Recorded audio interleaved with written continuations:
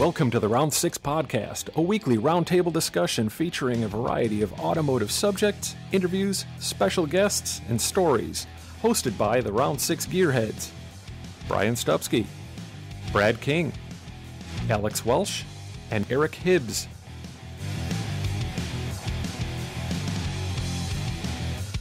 Joining the Gearheads for a very special episode 20 is hot rod designer, builder, and all around nice guy, Chip Foose.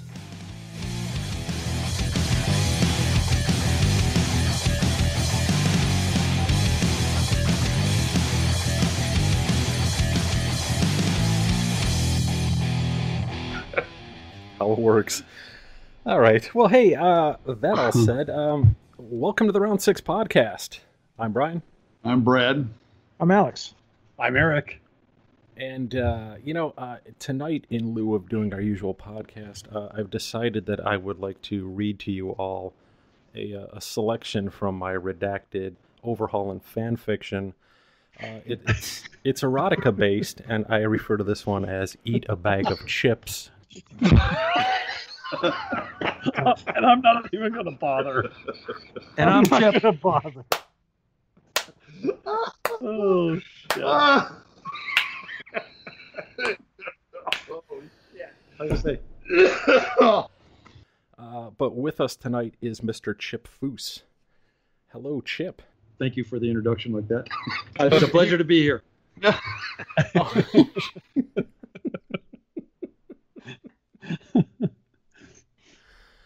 Oh my gosh. So how the heck are you, sir? I'm fantastic. Awesome. Went out and picked up a Jaguar from Luke DeLay, who is uh, Marcel's son. We uh, we're doing this E-type, and he's metal shaped, and he did those pieces for us, and we just brought it back so I can get back to work on that here in the shop. Outstanding, man. I mean, you are probably the busiest human being on the planet.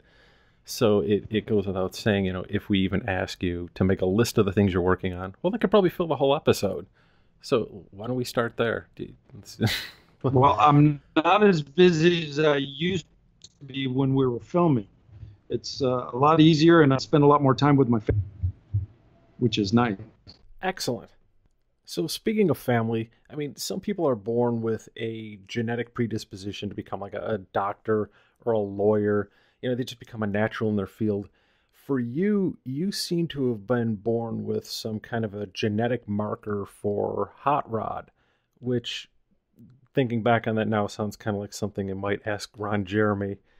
Um, I, I guess the, the, Uh, speaking of hot rods, the question here might be how did how did you know you were going to be into cars was was this was this a thing from birth or did you kind of just you know come into I it through the I family would s- uh, you know, I don't really remember being introduced to cars. I was kind of born into this with my, my father.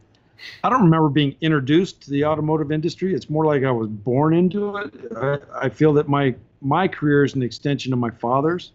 Uh, at the age of three years old, my father was running uh, Gene Winfield's shop in Arizona called AMT, and, which was uh, American Model Toys. But they ran a full size shop where they built the real cars, and then those got scaled into model kits. And I would go to the shop with my dad on the on the weekends at three years old, and I could watch him building these cars and and also the crew because they worked Saturdays and Sundays too sometimes.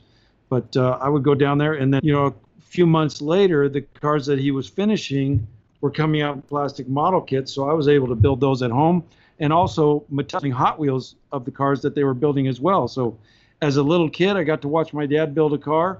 I got to duplicate that in a scale model kit at home, or carry around a Hot Wheel in my pocket. And my career today is the same thing because the cars that we Revell is a model kit, and uh, we keep building the diecast, and it's amazing. But uh, you know, I'm still living the dream.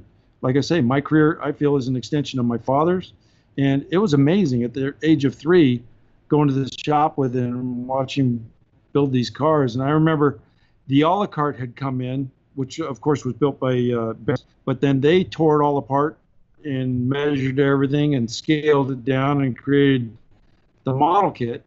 And then my, my dad repainted the. Then it was for sale. My dad actually $2,500. Didn't tell my mom right away, but then when she found out, she flipped out and he had to sell it back to uh, AMT and then it was sold again. But, you know, that car for for two weeks, my dad owned it, which was amazing. And I know that when Roy Brizio restored it for John Mumford, the paint job that was on it at that time was my dad's paint job, which had all the way from uh, I think that was 1968. He had redone it. 68 wow, or 69 is cool. when they redid it. Another long time. When my dad owned it, but I, it was it was an amazing childhood. And then when my dad had his own shop up in Santa Barbara, which is where I was born and raised, I started going to the shop with him when I was seven years old. I'd like to say that I was helping him, but I know I destroyed a lot more than I actually helped in the beginning. But my dad, you know, was an amazing teacher, and he's my hero to this day. But he also had another designer that was coming in who had retired in uh, Ventura, California, just south of Santa Barbara, and that was Alex Tremulis. He was a big fan of my father's, and he would come around. He would bring scale models, and my dad or I started painting them later, but my dad was painting his models when I was just a kid. But when Alex came in and he brought his artwork, now Alex had worked for Auburn Duesenberg back in the 30s. He designed the Tucker. He was the head of the Thunderbird studio through the 60s for Ford Motor Company. He retired in uh, Ventura and he would hang out at my dad's shop. He would do drawings of the cars that my dad was doing and he would bring in these amazing sketches. And when I saw his stuff, I thought, that's what I want to do. And he told me about Art Center College of Design, which is where I actually went, and uh, I have a degree in industrial design, you know, specializing in automotive. But uh, that's all because of my father and Alex is uh, where I got my start and how I was introduced to this. Wow, what a mentor! Too cool.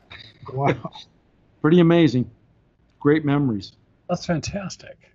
Thank you. Yeah, made him clean up and, and put his little toys away. He was out in the street when I was getting everything I can't set tell up. you how many wet paint jobs I stuck my finger in when I was a kid. wow, that looks amazing. And I'd touch it, you know, because he originally didn't have a spray booth. He was painting things and then just walking into the other room. Right. I'd come in, you know, mom might drop me off. I'd walk into the shop and I'd go, wow, that's cool. Oops. Okay. and, and the rule was if I messed something up, to tell my dad about it right away because he didn't want to find it when it was too late and now the customer's coming to pick it up. And I did something or, or I did something. I remember he was doing a uh, Lamborghini Miura. And he had painted. He had just done it candy root beer brown. This is in 1975 or 76. Candy root beer brown. We were color sanding and rubbing it. It was all polished. Now we are reassembling it. And my father gave me a gallon can full of lacquer thinner with a rag, and he gave me all the door rubbers and the and the the rear latch, all the rubbers to wipe those clean with the with the lacquer thinner before they would glue them back in. And then my mom showed up and she says, "You got to go to the dentist. We got to go." So I left. We go to the dentist and I get back and my dad's in the office and he said, "What'd you do with that wet lacquer thinner rag before you left for the dentist?" Oh no. Oh. Uh-oh. I have no idea. No. Well, he walked me back there and I had just laid it right on the hood of the car. And now that wet lacquer thinner PNT 90 had melted into the candy root beer brown paint job that was already color sanded and rubbed. And yeah, then I had to I had to pull it out, feather it out, and block it. And my dad went over it. But yeah, when I was nine was my first paint lesson. I remember my, my dad told me to go out to the back of the shop, which is where we used to throw all the uh, destroyed panels. And I grabbed a Volkswagen hood and brought it into the shop. And he said, okay, go ahead and straighten that out. So I hammered and dollied it and bondoed it and blocked it, got it in primer, and I ended up painting it pearl white. And he said, now do some graphics on it. So I did some flames and I did a couple stripes and uh, cleared it. And then I color sand and rubbed it and got it all done. And he said, now when you get it all done, come and find me. Now I'm sure it was probably awful, but in my mind, what I remember it was this beautiful, perfect Volkswagen hood that could have gone on any show Volkswagen if you finished the rest of it this way. and I walked to the other room and I grabbed my dad where he was hammering dolling on a fender of a car. And I said, I got the hood all finished. Come look at it. So he walks over there and he's looking at the hood. He says, Well, you did a nice job. And he still had the hammer and dolly in his hand. And he hauls back and he hits right in the middle of that hood, right in the graphics and everything with the hammer. He said, Now fix that. And I remember I I hammered and dollied it, I bonded it, I fixed it, and then I taped off a square. I had primered it and I taped off a square and I painted it white and I unmasked it and there's a big white square. and that's when he taught me how to blend everything and how to spot paint jobs.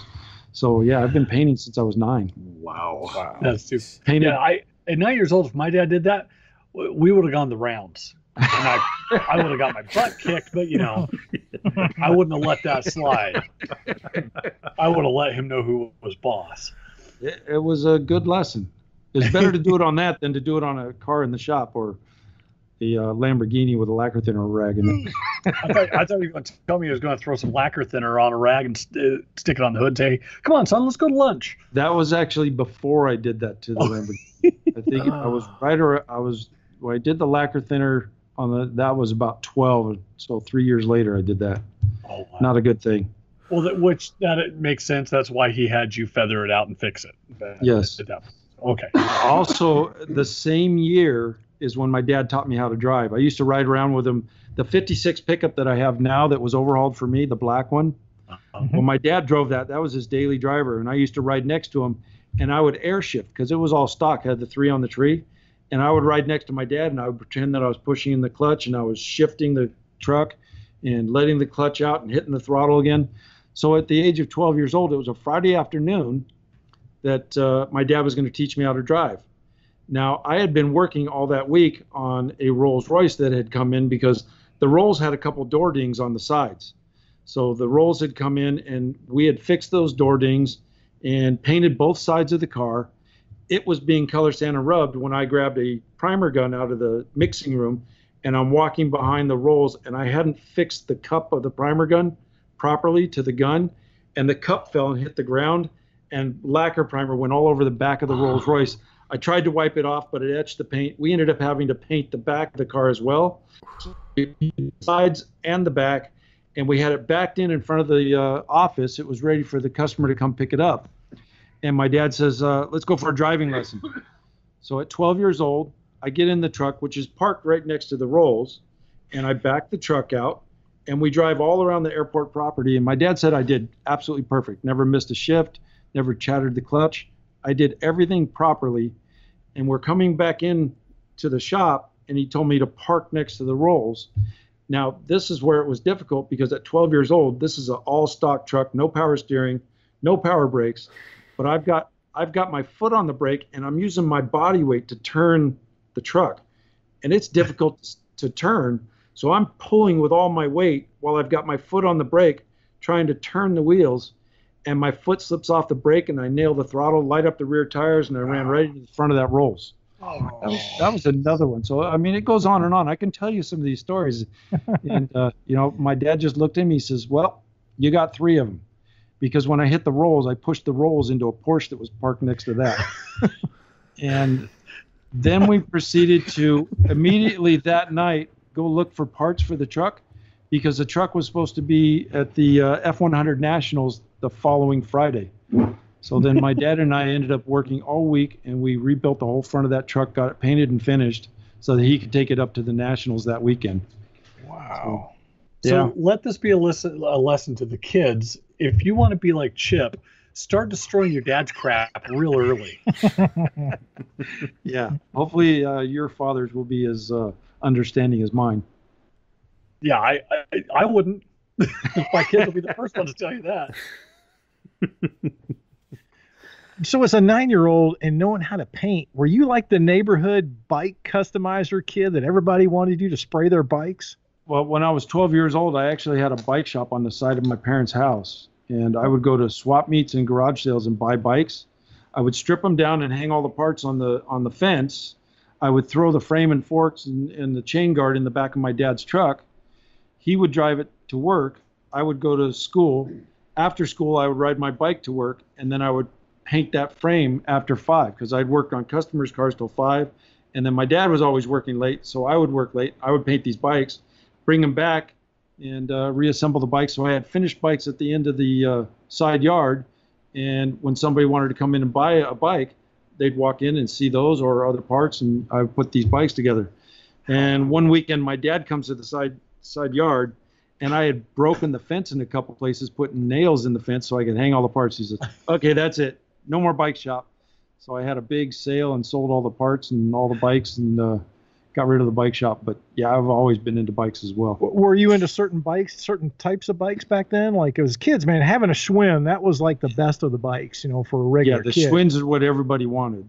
Yeah. And, uh, but see, those were still brand new, so I couldn't find those. So it was a lot of Huffies and other stuff that uh, I was Okay. getting cheap and trying to build. You know, I'd put cool paint jobs on them, so they'd want them because it was you know fun paint stuff. Or I would end up welding up the tank up front and do graphics on that and then sell them.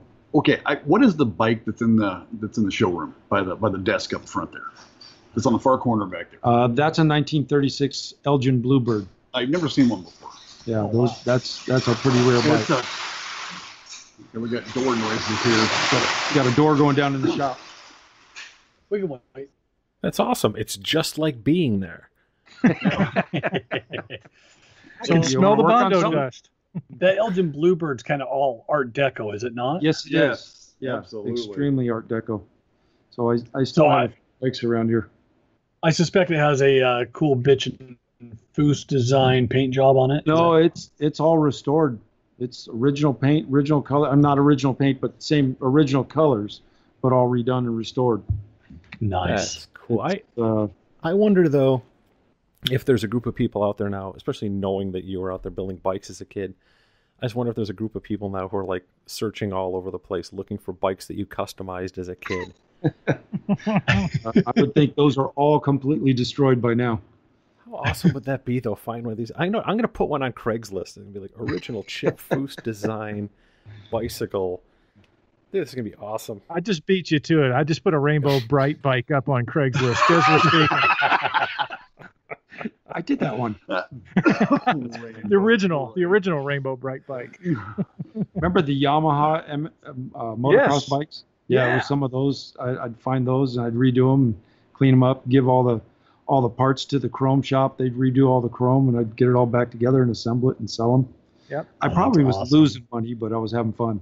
Those were cool bikes. A friend of mine had one of those. He also had a bike called a Graco, which had a full suspension on it. Even back in the day, the Yes. thing was a tank, but it was a really cool bike. Yeah. Yeah, th- those things weighed like 45 pounds, didn't they? They were heavy. yeah, you could go off any jump, you know, but Yeah, wouldn't get they much air. landed. They landed so softly. Yeah, the bike got to the ground before you did because it yeah, was so yeah, you were the first one to the accident scene. Yeah. So there's we so- should do a comparison between what you were doing out west with your bikes and then somewhere back east there's a guy who was like covering the seats with like alligator skin. There we go. So, Chip, do you still uh, are you still an avid bike collector, or Oh yeah, yeah. Um, I've right now I'd say I probably have close to 35, 40 bikes. how cool? Yeah, got some old stuff. Uh, got an 1884 Columbia high wheel, Columbia. And- Wow, Do you do you know why they were designed that way with the big wheel up front and the little wheel in the back? it was run over the cow turds without falling down, wasn't it? That's before they invented the chain. So the bigger like they could my make idea that, better. Yeah. the bigger they could get that front wheel, the faster they could go. So that's that's where that design came from. The next that's year, I also so that was eight, 1884. I also have an 1885 Columbia Pope. It's a chainless bike, and uh, it's regular size wheels that we're familiar with, but they're 28 inch. But it was a shaft drive bike through the rear tube, and then I have a uh, I have an 1887 two-speed shaft drive bike, and a bunch of other stuff. But a lot of also the uh, balloon tire bikes. I like those, and then and then I'll design and build my own build my own frames and have some fun He's with got them. a couple of cool board track looking bikes that he, Yeah, those- he those made. I he made did the frames for. They're pretty badass looking because it's different, definitely different. That's cool. I, fun. I've got a board track bike, but it was made out of a Schwinn Cruiser SS that was made like 15 years ago. A buddy of mine uh, chopped the frame and extended it 11 inches, flipped the bars over, and it looks like a cool board tracker. That's fun. So, Yep, Yeah. very cool. It's So- cool. A lot of those old bike manufacturers also became eventually became motorcycle manufacturers. Like Pope, Well- Pope was building bikes or motorcycles. Yes. Well, at Yeah. the turn of the century, there were over 5,000 registered bike manufacturers in America. oh my And gosh. then in 1903, of course, you know that's when Ford started doing mass production and Harley started, and and uh, most of those bike, you know, manufacturers became vendors for larger manufacturers like Ford and Chevrolet and Harley Davidson, Indian. You know, Wow. they they all started making parts for them. Mhm. So That's cool. because Yeah. at the turn of the century, the bicycle was modern transportation. Yeah. Yeah. A lot of people don't realize the Wright brothers were bicycle mechanics. Exactly. Yeah, they made bikes before they made the airplane. Yep. Yeah. At Now- uh, Are, are their bikes were are, are can anybody ever find any of their original bikes or were they ever around? at the Smithsonian Museum, they have their original airplane at the Smithsonian, and Mhm. they have an original Wright brothers bicycle sitting Wow. next to it. That thing's got to be priceless. It's very cool. Yeah. Yeah, Yeah, I would love to find That's- one of There's those. the word. It's Mhm. priceless. Those were some Yep. smart dudes, man. They Yep. were some smart guys. Very cool. Well, and you've learned you've uh, lent your design hand to some more recent recreations uh, of some older cruiser style bikes too, haven't you? Yeah, actually, uh, I originally back in uh, '99, I started working with Felt and Nirve, and we redesigned the cruiser with the tank on it type bike. And then Felt and Nirve ended up getting into a battle where they were suing each other. They split, and they both claimed that they owned that bike. That bike ended up getting stuck in a legal battle, both of them trying to own it. Meanwhile, they both redesigned something that was similar to it and started selling that. And uh, were very successful with both of those, while mine was stuck in a legal battle and ended up, uh, you know, kind of going nowhere, Oh my god! which was a shame. But both of them ended up because originally when I designed it, I did it on a royalty basis, so I was going to get paid for every bike that sold. But it got so stuck in the legal battle that it wasn't able to sell. They they fought each other for about two and a half years. Meanwhile, they both did their own iteration of it and sold the heck out of them. Wow. So yeah, hey, you it's know, unfortunate. uh, maybe I shouldn't say anything, but you almost wonder if that was part of the plan from the beginning. it may have been. Wow. So you're you're into bikes as a kid. You're around the whole model car thing. Were were you into cutting up model cars and like kit bashing? Oh yeah, yeah. Awesome. No, I cut I cut those up, chopped them up, and I would end up taking the body to my dad's shop, painting them, and then reassembling and putting them all together. And you know they didn't last long because I wanted to play with them all and then throw them away. but I had fun doing it. And then I would say probably at the age of about uh, 11 to 12 is when I really started getting serious with my dad. And every every spare minute I had, I was in the shop built working on the full size cars. So I kind of I went away from model building at, at about 11, 12 years old. As far as like the design thing went with you, were you interested in design as like a serious pursuit at that point? Or Uh, just- yeah, I was serious about it when I was seven years old and I saw Alex Tremulis. My dad was a phenomenal artist, and at the age of three, I would sit next to my dad and copy whatever he was designing or drawing on the table. When he was done, he would over and over and over again because he was my hero and I wanted to be as good as him. And then at the age of seven, when I saw Alex Tremulis, it was like, you know, that's another level that I, I was uh, introduced to that I thought, wow, I want to be able to do that now. And I was drawing all the time as a kid. And at about the age of 14 is when I started being able to draw as good as my father. And he kind of put the pencils down and he would just explain to me what he wanted to do to the cars in the shop, and I would design them for him. And then we were building together. At And that age, at the age of at the age of 11 we were building a van for for our family. And my dad had laid out some graphics on it and then he told me what he wanted to do and i didn't like the idea of what he wanted to do but he was going to do it anyway and i remember sitting on a ladder in the shop and i was in tears crying telling him don't do it don't do it and that was how you know moved i was by design i just i didn't want to see him do this these graphics on the van I liked it the way it was, but he wanted to add this one element that I thought was going to kill it. And to this day, I'd say it killed it. that comes up at Thanksgiving dinner every year. hey, Dad, do you remember? Shut up, Chip. Yeah. but there was another reason that he was doing it. It was uh, metal flake green and black. And the metal flake, when it was on, was a little bit blotchy. And he was adding that graphic, this element of this kind of swoop that was going down the whole side of the van uh, just to get rid of the blotchiness. It worked for that, but it, it wasn't needed on the van. So So Wow. wow. that's cool. So that's like that, uh, like an early manifestation of like what basically became your style. That you know, that whole clean, you know, cleanliness for its own pursuit, for lack of a better word. I mean, that's the way. And my always looked at dad my stuff. dad's that way as well uh, both of us feel that if you're going to modify something modify it to make it more beautiful don't modify it just for the sake of modifying it and if you're going to do it try and do it where i don't want anybody to know that i was there. And my dad said the same thing to me. You want to finish it where it just looks better than it did from factory but it still looks like it's factory built. Yeah, Good way to do it. But I would Mhm. argue, though, it only works that way on vans unless you get you know, every van can benefit from you know a mural of a half-naked woman riding a polar bear.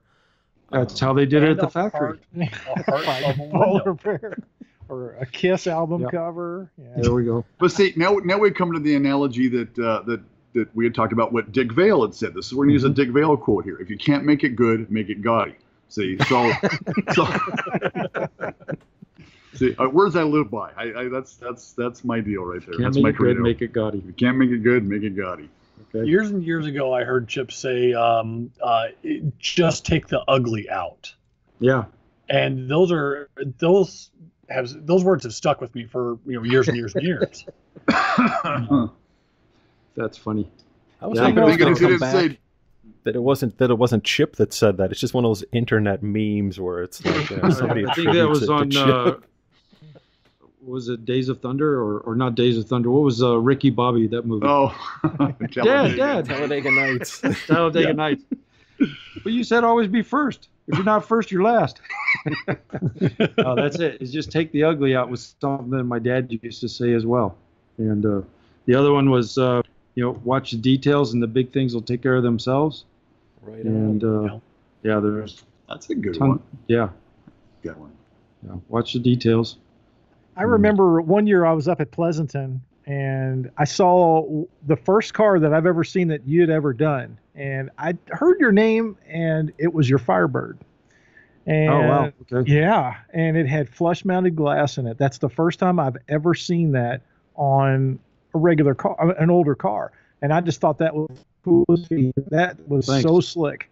I had never seen it. I had never seen it done on uh, that era of car. We had done a few at my dad's shop with, you know, like a 32. We make a bigger windshield and then just put. It was the uh, S10 pickup, that little rubber molding that went around the windshield. Right. Mhm. That's what we were using to glue them in, and I thought it'd be really cool to do it on. That was a '69 Firebird. And I put the uh, the rear door handles from a Honda Civic four door, an '88. I used the rear door handles because they basically were the same shape as the uh, grill openings. Uh, and I used the rear door handle because it didn't have the key lock in it. And I put remote locks in it. Did the blend on the bottom, but uh, just really cleaned the car up. And uh, originally, when I got that car, I was going to restore it. And I remember at that time, Paddock was the company that made all the restoration parts for them. Mhm. And when I got their catalog and I looked in there, you could get every single molding, every emblem. I mean, all the pieces to restore that car. And I thought, well, I'm not going to restore it because now anybody can restore it. I'm going to have some fun with it. Paint by So I uh, right? ended up modifying that one for myself. That was in 19, 1988. I didn't want a pro street car. I wanted it to be more of, uh, well, Gray Baskerville said that it was the first pro touring car ever built. Because he, Really? he thought I it was going to say that because I was going to make that comment. Bigger wheels and drop down. Yeah, it, it's never been. It was verbally said by Gray Baskerville that way. He shot it for Hot Rod magazine and Carcraft, but uh, but uh, in any other magazines or, or No. historically, nobody's ever brought it back up and mentioned it. It was a But great that was looking in car. '88. Yeah, Yeah. that car is owned by Stewart Reed, who is the head of transportation design for Art Center now. That's Really? when I first when I first met you. That I knew the car. You know, I knew who your dad was, and you know, you were just kind of getting that art center thing. and You just Mhm. got started over at Boyd's. You were doing that stuff over there. Yeah. And, and uh, but I remember the Firebird going. That Yep. thing was just a cool. It was a it was a shame it wasn't any color picture. It was all black and white stuff of, of memory. Yeah, most of the magazines, it was that real subtle champagne gray, and I blended it down at the bottom. And yeah, I had Yeah, it fun was a with pretty that. car. I think I built that whole car for uh, twenty four hundred dollars. Jeez. Good thing you didn't restore it, huh? Recaro Recaro donated the seats. The interior of that car was perfect. all I did was put the seats in and a steering wheel in it. Um, I had let a friend of mine borrow it, and he blew the motor up. It was a it was a 400, it had a four speed in it, but he Some blew the motor up, and he gave me two grand to have the motor rebuilt. So I sent the motor out, got that rebuilt, and uh, so it didn't cost me anything to rebuild the motor, and I had twenty four hundred dollars in the car. I had uh, built a Karmann Ghia for my girlfriend and gave it to her, and that was her dad's car. He had bought it brand new, and his mother passed away about two months after I built the Karmann Ghia, and he got her Buick Park Avenue. It was a she had like less than 2,000 miles on it. So he got this brand new car from his mom when she passed away, and he turned to me. He says, "You want the Firebird? I'd love to have the Firebird. What do you want for it? It's yours." He gave it to me. Wow. So yeah, I was. What, let's see, that was uh, 1986. He gave it to me, so I was. Uh, I was 23 years old at the time. How cool. Well, Yeah. couldn't have gone to more deserving hands. So, Well, thanks. But it was Did, uh, amazing. he had every receipt in that car from when it was brand new, from when he bought gas or changed the oil, and everything was written down, all the mileage. I mean, absolutely every dime he had ever put in. If he bought a bulb, it was in the glove box. Everything was there. wow. Oh, you couldn't have asked for a cooler inheritance. So, did he get to see and enjoy the car after you were done with it? Oh yes, definitely. Yeah, yeah, he loved it. Yeah. That's so cool. But uh, yeah, it was a fun car. His daughter and I broke up not long after that. But, you wouldn't let her I drive got, a car, I got huh? what I wanted. then I drove away from my uh, wedding in that car. Okay, Nice. wow.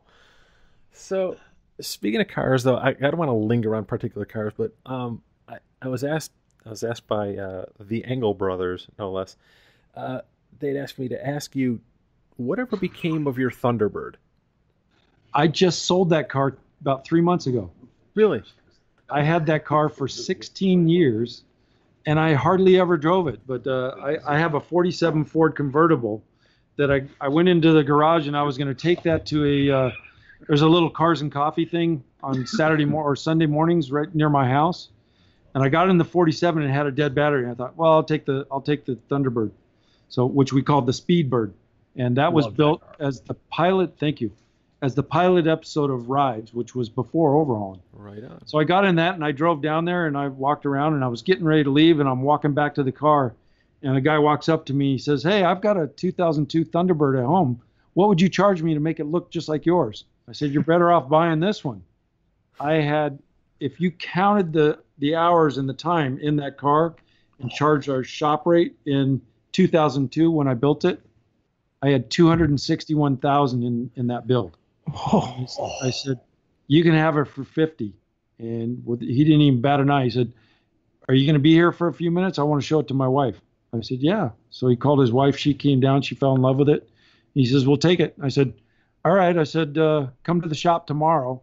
I'll buy a few things that I wanted to clean up and pull out of it and uh, get it all ready for him." So he came down the next day with with the money and he went home with it. That's awesome. How Yeah. cool. it's That a was one of a like- kind car. like three three months ago. Yeah, it was a beautiful car. I loved it, but uh, I need some room in the garage for other other plans. Right. So while we're here, let let's just work on it. So what what what's the latest? What's the latest personal project? The latest personal project I'm working on a uh, '67 Chevy pickup that uh, you know is a C10, and about five years ago I stumbled onto a real '67 Z28 Camaro motor, and I thought this would be so cool to put it into a C10 and call it the C28 or or a Z10. I wasn't sure what I was going to call it yet. And uh, so I started looking for a truck, and I finally found one, and, and I'm in the middle of that build right now. It's in the shop. But uh, the amazing thing is, I bought the truck, all original, Survivor, original paint, everything else. Originally, I was going to leave the original paint and keep it kind of a patinaed truck, but I wanted to look like GM built a sport truck in 1967 with the Z28 Camaro motor. And I started driving this truck, and I blew up the original motor spun a spun a, a main bearing in it, and I pulled the motor out, and I had the Z28 Camaro motor, but I went ahead and looked at the date that the block was actually uh, manufactured, and it was January 23rd, 1967.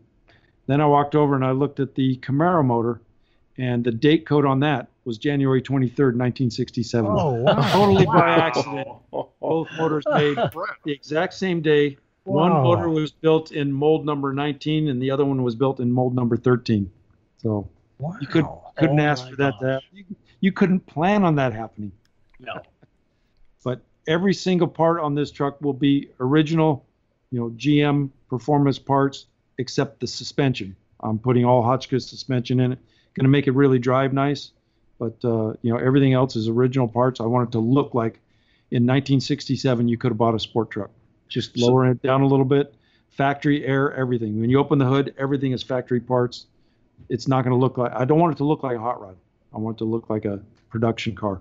How so what would you run for wheels on something like that? I'm actually running the rally wheels. Okay. You know, same thing with the Yeah. just just like how you would have bought it from from GM if they had built it. Like little even derby the, uh, caps. The sticker in the glove box, I'm, I'm actually reproducing that. It's in great shape, but I'm going to reproduce it and stick it back in there with C28 package. Just add Yeah. to it. Awesome. You got to make C28 emblems that look kind of like Oh, the I am. I'm 69, actually- 69 emblem. I am using the C from a GMC uh, logo. I actually the real badge. I pulled that, and I, the rear panel on a '69 Z28 Camaro is a little bit bigger than the fender badge. So I'm using that C and the slash with the 28, cutting the Z out of it and putting the C into it, putting that on the front fender. So it'll look like a factory produced emblem Oh, that on the looks front so fenders. oh, that'll be rad. I'm excited about it. I think it's it's going to be a fun car. We'll have that uh, at SEMA also. Oh, Cool. All I've got left is to uh, paint the cab and uh, some of the other parts. The chassis is all finished. I just got to get the cab painted. I'm doing the uh, orange and black houndstooth interior in it, so it's everything is Camaro related. I haven't decided whether I'm gonna put the Camaro dash in it yet or not. That was one of the options. I'm a little leery of putting that in because there's so little room in that cab now. The dash is Yeah. flat.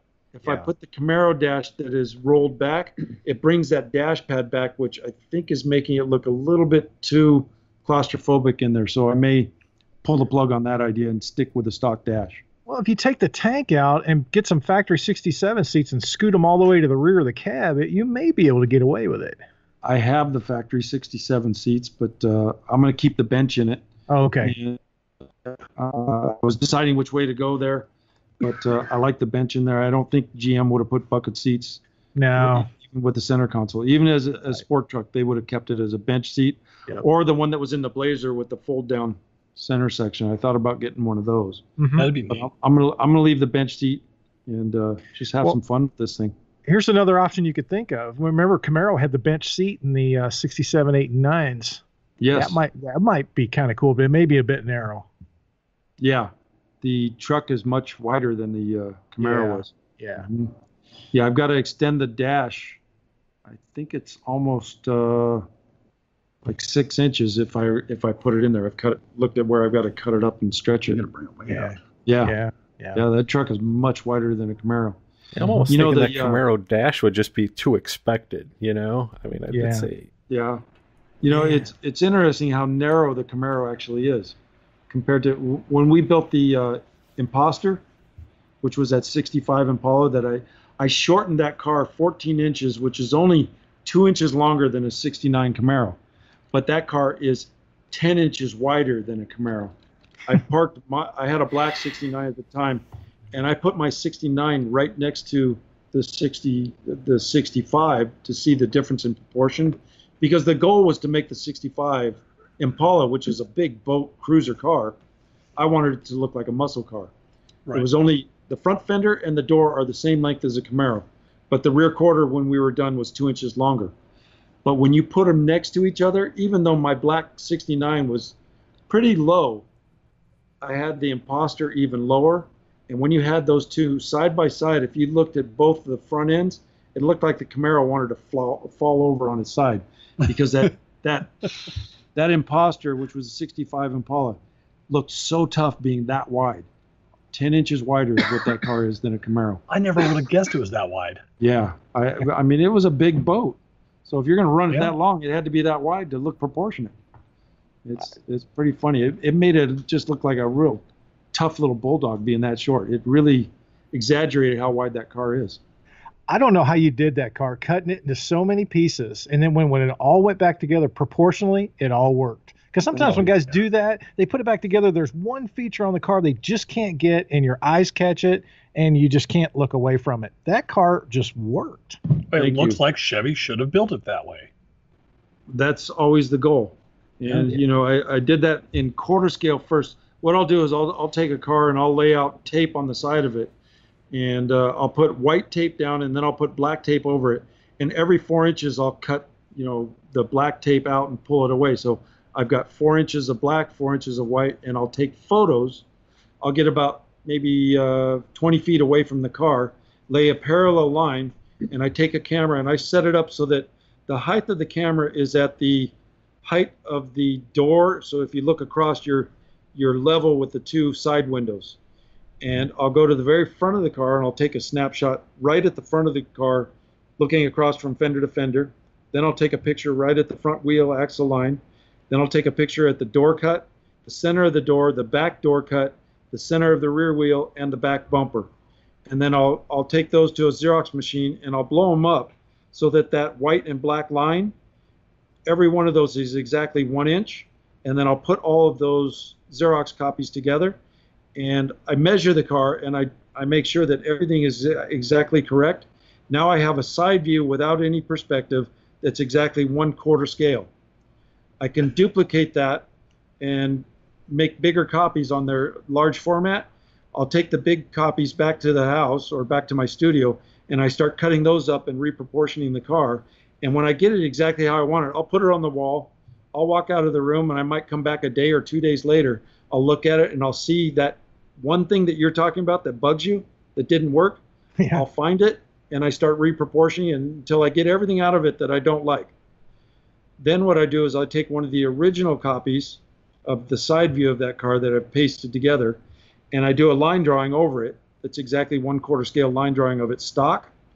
And I usually use the front axle line as the zero line. And then I'll put the new one, the, the one that I've just cut up and pasted together, I'll set that front wheel right there and I'll redraw the car. Now, if if I've moved something one inch in that scale, I know it's exactly four inches when it's the full size car. So when I duplicate that and I put all the lines down, I know exactly how much I need to cut out of that car before I cut it. And I can plan where I'm going to cut the car so that it all falls back together and fits instead of trying to make all new parts. Try and use the parts that were there existing. Figure out, you know, if the fender is getting taller in the center, you're not going to cut it just to move it. You're going to find out that area that's tallest. Take if I moved it seven inches, take three and a half inches from the front and the back of that that line. Make sure that those two sections are the same shape. When I pull that section out and bring it together, the metal all fits together. Find those two spots that it all fits, then start cutting it up and putting it back together. Oh, that's And- cool. It takes time to plan it, but that's what I learned from my dad. Plan what That's a- you're going to do before you actually do it. That's amazing.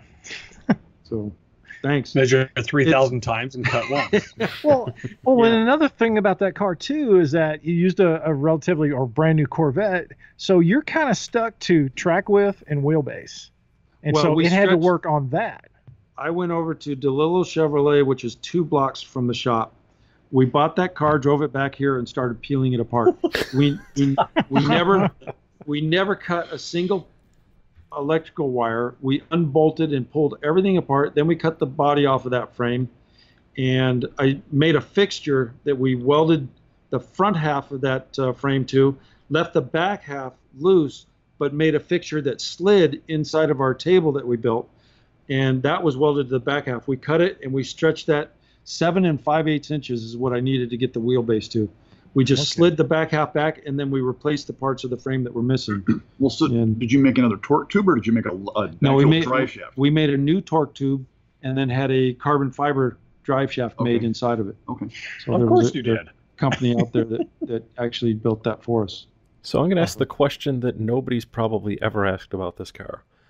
Uh, do you guys still get letters from the dealership requesting you to bring it back for service? no, what I get is I get, you know we never don't- used the red we never used that license or registration. Okay. It's actually registered as the 65 Impala. That Oh, car awesome. is. So I get notices from DMV all the time saying uh, your registration will be revoked because you have not shown proof of insurance for this car. and I just so I don't need it. I bought that as a parts donor. So You're getting airbag recalls on a 65 Impala. The actual dealer used to live across the street from me, uh, Dave DeLillo from DeLillo Chevrolet, and he's actually seen the car. He came to the shop to see it because awesome. I bought I bought that Corvette from him, and I told him what we were doing. He said, "Well, let me know, and I'll come down to the shop. I want to check it out." So he did. What did he say? Oh, he loved it. Yeah. But Too he said neat. he said he had never had a customer buy a car. Two blocks is all we drove it, and we cut her all up. Well, I hope you did a bunch of donuts in front of the shop first. No, I didn't. that, that car had 26 miles on it when we cut it up. Wow, That's that's awesome. that's just actually oh, that's pretty too- awesome. We I can't we even imagine. That's too. put it all back together. Every every piece of wire, you know, we had to extend a couple where we extended the frame to get to the taillights and all that. But uh, all that wiring just plugged all right back in. It was all factory. Wow. Outstanding. Yeah. So- so neat. Still has OnStar. I'm stuck in my Impala. Can you please get me out? yeah. Excuse me. Can you unlock my car, please? it would work. We used all of the uh, stock Corvette latches and uh, door handles. Seriously, that's But just Yeah, Yeah. all the latch stuff. Because I, I Yeah. remember we were down here one time and he was showing me all the little pieces on the car. It is quite amazing. Yeah, even the deck lid latch from the rear glass with that on deck lid. Unreal. So, i- and th- this is what makes you, in my mind, obviously the top of the game. Period. You Oh. you not only are able to design something, but to be able to just not only back engineer, but then re-engineer something like that and make it all work as well as you did. That that blows my mind. I mean, Well, thank you. I, there's you're, you're very welcome. There's there's no words to describe that what that does in my brain. I mean, I'm sitting here going, you know, I, I have to No. do little stuff like that, but nowhere near. I mean, the the sheer complexity of what you pulled off with that car is just unreal. You're, you're like the ultimate prototype guy. I mean, as far as building something, it's just incredible. Yeah. The hardest part of that car came in the middle of the build. And that was because Don and Elma Voth, who are the owners of that car, they actually took a 65 Impala on their honeymoon. That's the car they drove. Not that exact car, but Don says, I want to build an Impala for my wife. And I said, Well, why don't we just take a brand new Corvette and put put an Impala body on it so she can drive it and enjoy it? Because if you give a woman a hot rod and she has any problems with it, she's going to hate it and never want to drive it. Yeah. so I said, let's just make it a brand new car. If she has a problem, she can pull into a Chevy dealership. They can plug it into their computer. They'll know exactly what needs to be replaced, and she can be on her way. He agreed. So it, we were building it to be his wife's driver. And midway through the build, he says, let's go to Ridler with it. Well, this is a brand new Corvette that we just bought at the dealership. The bottom of it is a production car. And the Ridler, you're trying to take a piece of rolling art. And I said to him, I said, I, I did not want to do it. I didn't want to build it to be a Ridler contender. But he fought me on it. He said, No, I want to go to Ridler. All the work was taking that original chassis and using every single stock component, but dressing it and turning everything into a piece of art. Taking that frame and finishing every bracket, welding it, cleaning it up, making it so that you could put that car in the air and let the judges crawl underneath it and have an absolutely gorgeous piece of art on the stand. And Wow. every single part on that car is a factory part that has been redressed. Wow. And that to me, see right there, you, you hit another great point. Don't get me wrong; it it takes a lot to come up with something out of the blue, and I want to touch on that in a minute. But to be able to take something that exists and out of sheer necessity, knowing that it has to function as a factory part, and make it beautiful like that, that's a whole other level of this. Why I have to ask, really, what planet or dimension are you really from? Um, that was that was the hardest part of that car, and that's I mean it, it, it more than doubled the price of the car because all the work is underneath. Where when you walk up to the car, you don't see it, and even when you put it up in the air, it looks so simple that it doesn't look difficult. But that was the most difficult part of the whole build is making everything look like it's supposed to be this way. But uh, it's also a challenge. I love a challenge, but if I were to build another Ridler car ever, I want to start it that way so that we're building a complete chassis that is a piece of sculpture, is a piece of art. But to take a production car and turn it into that, that's so much work. It, you know, starts to take the fun out of it. You know, when you're looking at right. just a cable that's underneath the car, and the cable is an ugly piece. You know, now we got to turn that into a beautiful. You know, now we're we're looking. How can we reroute it? How can we make it into a sleeve and make it a gorgeous piece that looks like a show car? You know, that's the work. Wow. Wow. I was. I got to tell you that you know, every year... piece of every piece of suspension, all the all the A arms, grinding and finishing and trying to make the A arms look like, and then painting them and making them look like, you know, one off pieces, which they are in the end. They're all one off, but they started as a production part. Man, it's amazing. Getting Crazy. getting all of those numbers off of every every single pair has cast in numbers, and we had to get rid of all that as well. I when I was down here, we uh, we were both. It was kind of cool, both sitting on the floor, and I'm laying underneath the car, and he's telling me to look at certain things. And it just was funny because obviously he'd been down there in that same spot nine thousand times where everything was at, going, "Oh, look at this and check this out. No, a little more to your left." And like, "Oh crap, I didn't even see that," you know. So yeah, it was. It was not really you'd want to drive around town. Well, it's how how the frame comes along, and then it turns and goes in for the front suspension. But then you've got a fender that's hanging out here and how do you have that fender bolt to that frame and not look like you just got this ugly bracket coming over here to hold it? So you end up reshaping the frame and bringing it over and then pocketing a part of the frame. It sits right into that pocket, and then the body panel is flush from the bottom of the fender to the bottom of the frame, and it's just a beautiful cut line that is planned so the cut line isn't zigzagging from a fender to a rocker, it's one single line. You have to address every single piece so that you don't have a bunch of different individual pieces that are all beautiful. It needs to look like it was designed and built this way. How many hours did you have in that car? More than any other car we've built. do you, I mean, do you know? Did you keep track? Um, I think it's around 22,000 hours in that car. Wow. You know, it's it's a good thing you only charge 10 bucks an hour. Thank goodness. Nobody yeah. could have afforded it. I mean, the the year that that car won, the highlight for me personally, it, and it's this is a stupid thing. I feel like a little kid telling you this. You know, so be it. I the year that that car went into the Great Eight, I had a car that I had worked on. I had a green Dart. And oh yeah, when those, I love that car. Thank you. Uh, and, I, I have to tell you something. Sorry to interrupt, but I'm gonna tell you, when I go to a show and I'm competing, I hate competing at shows I look around and I find a car that I think, okay, that's a car that's going to beat us, and I convince myself that we've lost, and the weekend can only get better if we if we win. But I convinced myself that we've lost, and it was that car that I convinced myself would, was going to beat us. Whoa! Okay. Well, there you go, Brian.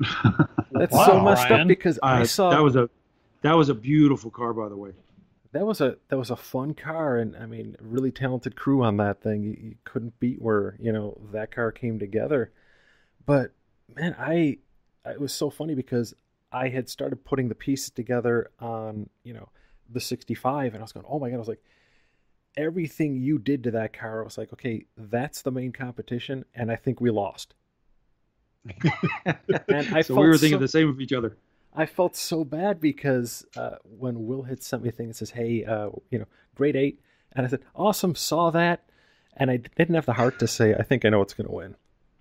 Oh, well, but when you. he sent me a text and he says, "Hey, Chip, you know, Chip's car," I and I I just sent back and said, "I knew from day one."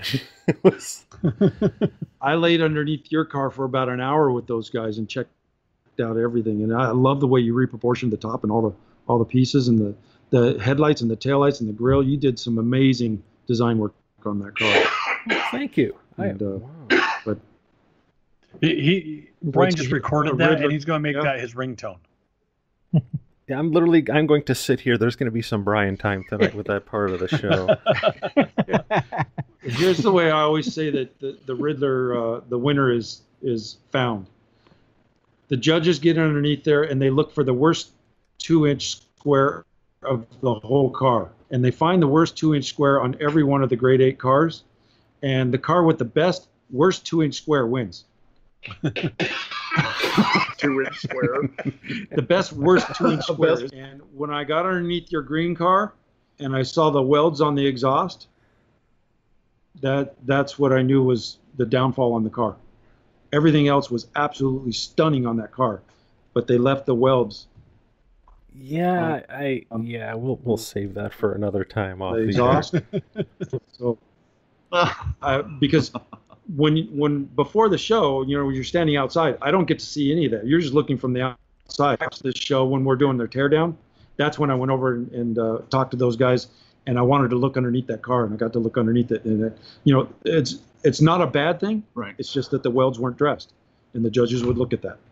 So And that like, that's well, the scary if they'd part have finished the welds. I just thought if they'd have finished the welds, they'd have beat me. It was, it was that close. It was. Well, it's That like a a Persian car. rug, you know. I always wonder if there is Yeah. a Persian rug out there where somebody got disgruntled that day at the factory and like made the eyes crossed on one of the figures in there. Yeah. Yeah. But uh, and by the way, you know that that's where all van murals come from, right? Persian, Persian rocks. Persian rugs and tapestries. Yeah, that, that's the that's the title of my next book. Persian rugs, tapestries, and custom vans. There we go. I don't know what any of that means. um, man. So okay, let me ask you this then. Uh, as far as like design sensibility, when you get into something, okay, like okay, the imposter, that's one whole different aspect of things. If you do another car where you're designing from scratch, you really don't seem to work in any kind of a bubble design wise. You really seem to just the, the world literally is your oyster. You're out there kind of looking at everything. I mean, do you like my brain works in a way that I look at any kind of car like earlier you mentioned a Miura. So I might look at a Lamborghini Miura and say, "Oh, I, I've got to do something with the trim on this next car that is just super lightweight looking." And all of a Right. sudden, in my head, I'm designing an entire car just around the idea that a piece of trim has to be super lightweight. Right. Like where in in in the Chip Foose mindset, how do, how does design start for you? Where does it manifest?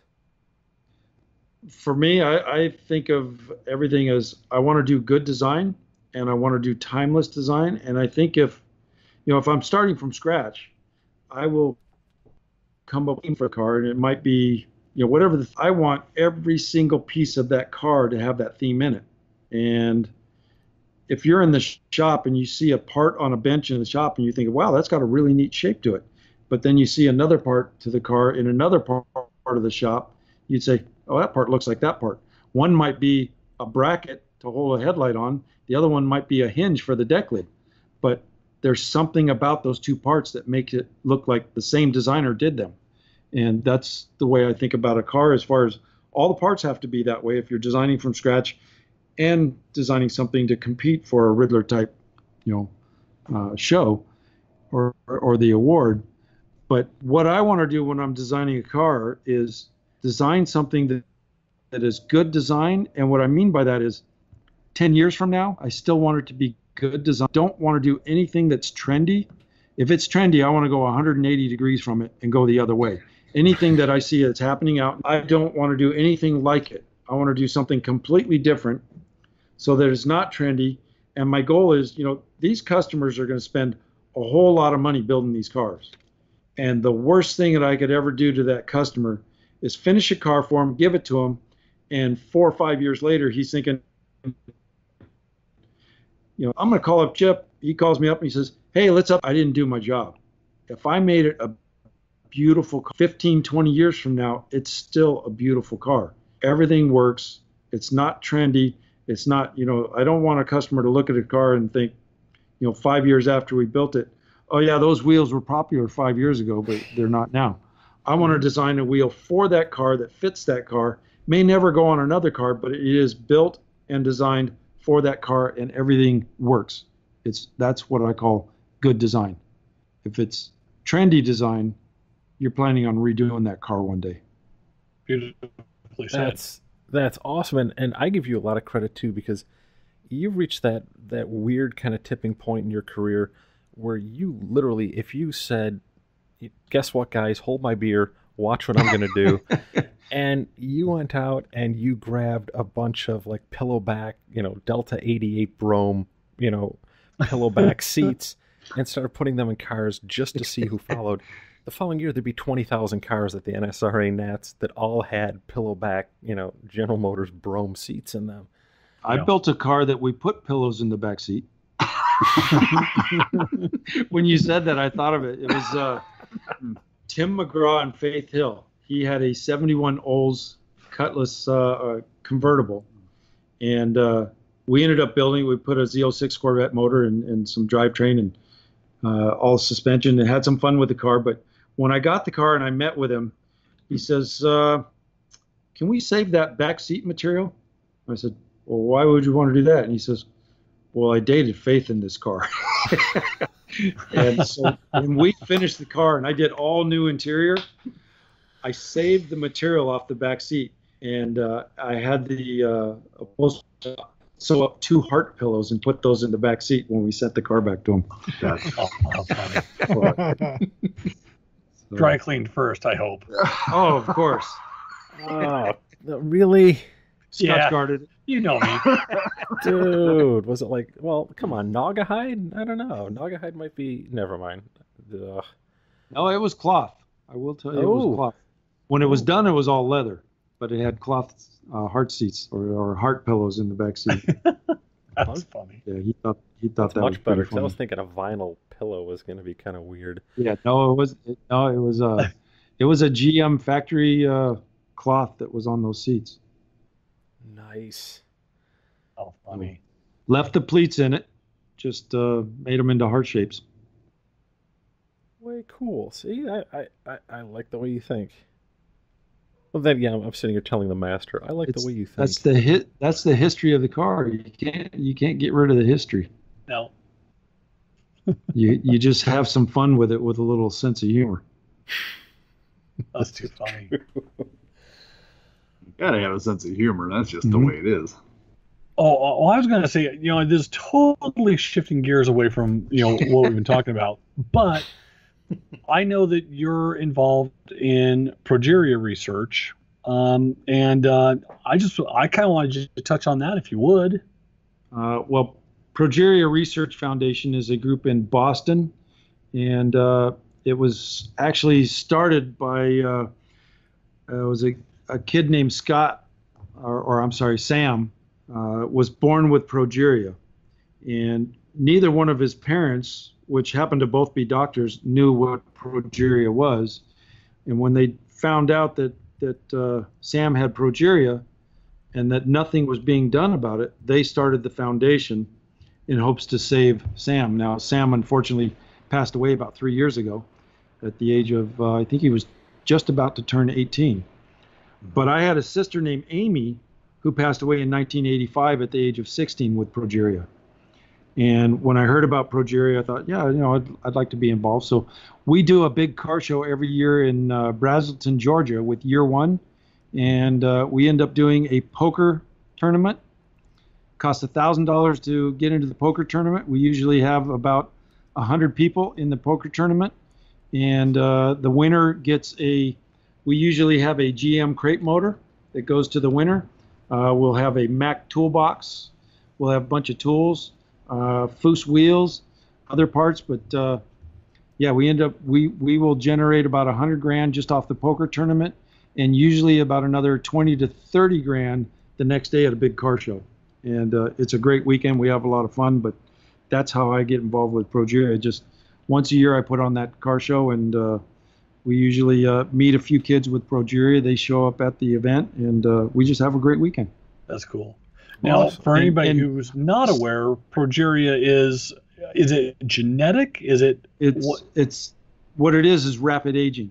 So uh, most of the kids, you know, uh, my mom knew that something was different about Amy because babies are normally really soft, and when Amy was born, she already had uh, almost like uh, muscles. She was firm, and uh, this is because the growth is uh, sped up, and uh, you go through all of your stages. So at the age of three, you're full grown. And Amy, at the age of 16, was three feet two inches tall and weighed 26 pounds. And uh, you know, she never got any bigger, but uh, she had the heart the size of the world, and she had the greatest sense of humor. And everybody that ever met Amy just fell in love with Amy. And we lived in Santa Barbara, California, and there's a lot of celebrities. Amy had some amazing friends, and her best friend was John Stamos. He had met her no, he was a drummer with the Beach Boys. My sister knew one of the Beach Boys, and we got to go to a concert and got to go backstage. John Stamos met Amy and just fell in love with her. Amy used to go to Disneyland with John and all kinds of different things. He took her everywhere, and uh, you know, I think the world of John because of the way he treated Amy. What I really wanted for Amy, my biggest dream for Amy was for her to, you know, know what true love was Mhm. she had a lot of friends that loved her, but she really wanted a boyfriend, and she never had that. But I would say that John was probably the closest thing to that for her, and uh, I'd do anything in the world for John today. That's so cool. So and so and progeria typically the its mid to late teens is about as long as anybody lives with that. Is that Yes, yes, have they identified what it is that causes it? yes. Or- They've actually done quite a bit. They've they've got a drug. I, I don't know the name of the drug, but uh, it's actually causing the kids to uh, grow and gain weight and uh, prolonging their lives a bit. Uh, I don't know where they're at with current stuff. I, I'll, I'll probably talk to them. Uh, September is the show. It's the third weekend of September in Braselton, Georgia, year one. But uh, that's when I'll see everybody from Progeria Research Foundation and get caught up. But I remember when, when Sam was with us, uh, when they were doing the clinical trials and trying this drug out, I had seen Sam the year before, and then I had seen him after a year of clinical trials, and I thought he looks bigger to me. And I asked his dad, I said, "How much has Sam grown?" And when they're in the middle of clinical trials, they can't give, they can't talk about any of you know things that happened. So he couldn't tell me. He says, "I can't give you any information on it." And I turned to Sam and I said, "Hey Sam, do you have any new clothes?" And he says, "I have all new clothes." So I knew then that yeah, he's growing. nice. I, I like that. and uh, it, it was pretty fun. But uh, yeah, and if you ever meet one of these kids, it's it's a phenomenal experience. And Hey, I know that anybody, I'm sorry. Go ahead.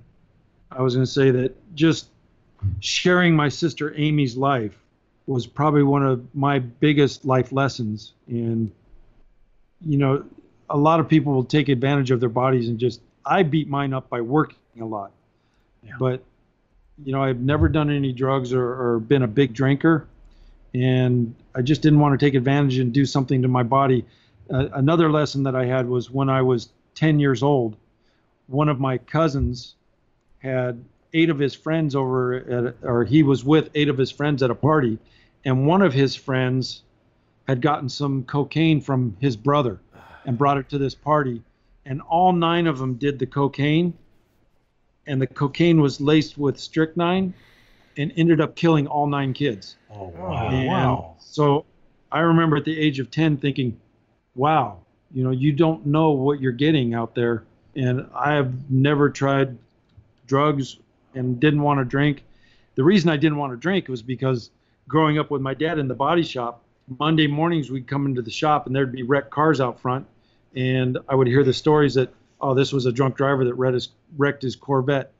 And I remember this one Corvette that came into the shop had caught on fire and I'm looking in the car, and my dad says, my dad's standing next to me, and he says, "What do you see in that driver's seat?"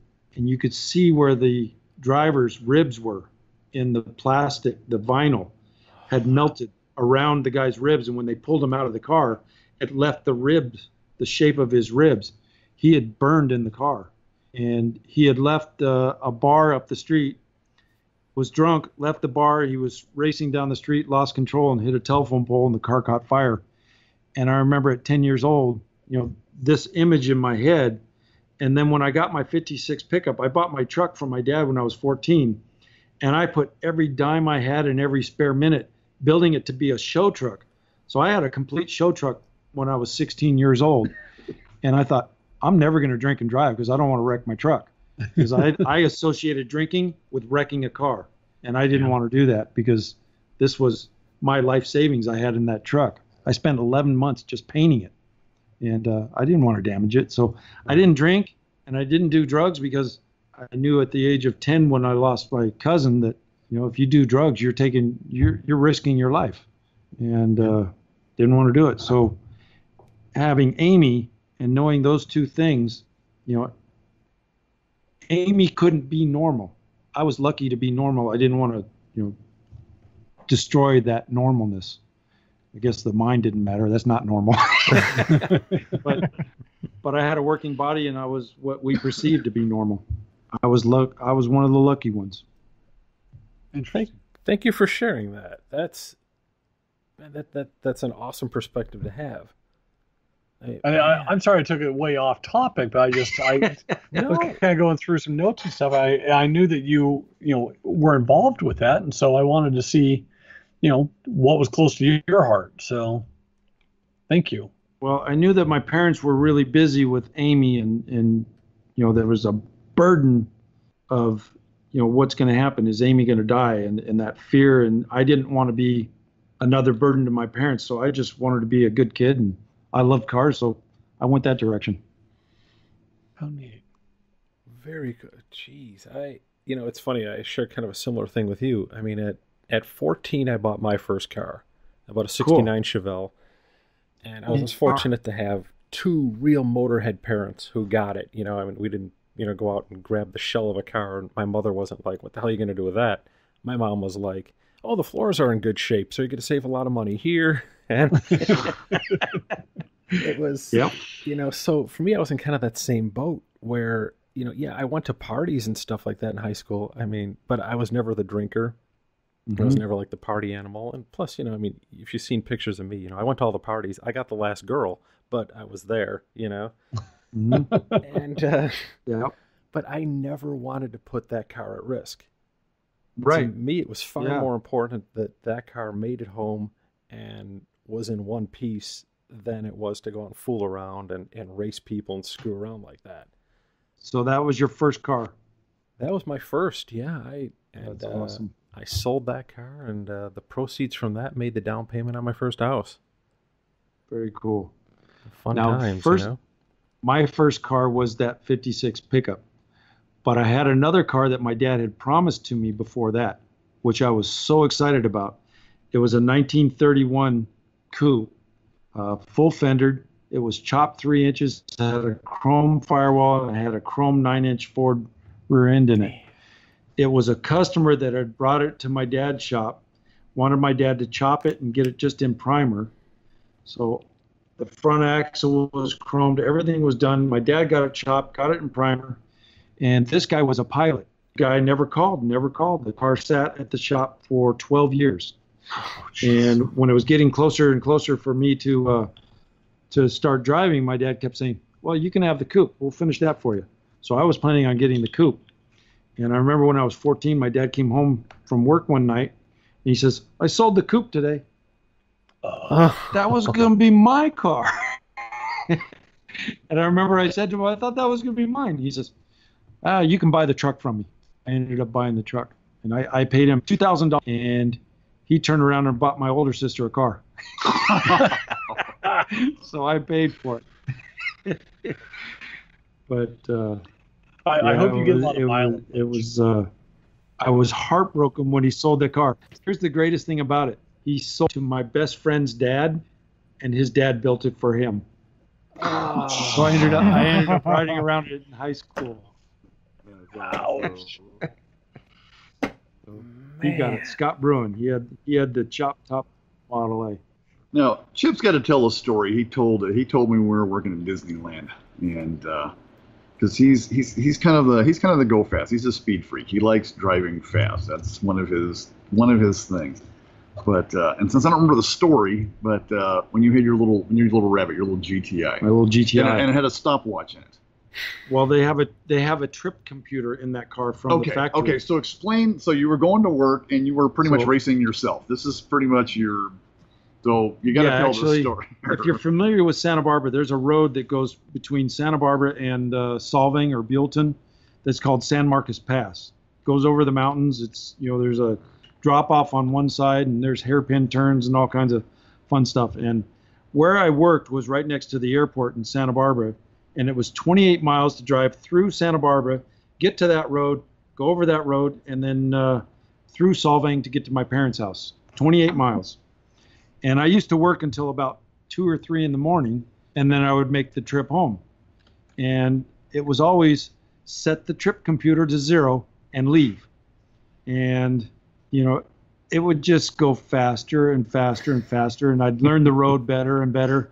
And the best time I ever had was I made the 28 miles in 16 minutes, two, two seconds, and it was an average of 106 miles an hour and that was in a 1985 Volkswagen GTI with 15-inch Momo wheels and uh, uh, 195 50 15 tires on it, Goodyears. Oh, those were the good old days, Oh, right? man, it, it- and that car drove like there was a pole in the middle of the car that you could just, with your right foot, you could make that car pitch and, and go wherever you wanted. And when I used to make that drive, I would do it at night, and I used it was a two-lane highway. I used both lanes, and I'd be in a four-wheel drift going through a corner, and I'd see headlights starting to come around the corner because you're on a mountainside, so you see the headlights before you see the car right. and then I would just drift back into my lane. The car would go by, and then I'd come back into that lane, in in a complete drift. And our, my roommate, his name is Mark Mark Coombe, and I was telling him how fast I was going and, and my times, and he he said, "No way, absolutely no way are you doing that." And so one night, you know, I had moved from my parents' house to his house, and I was renting a room from him.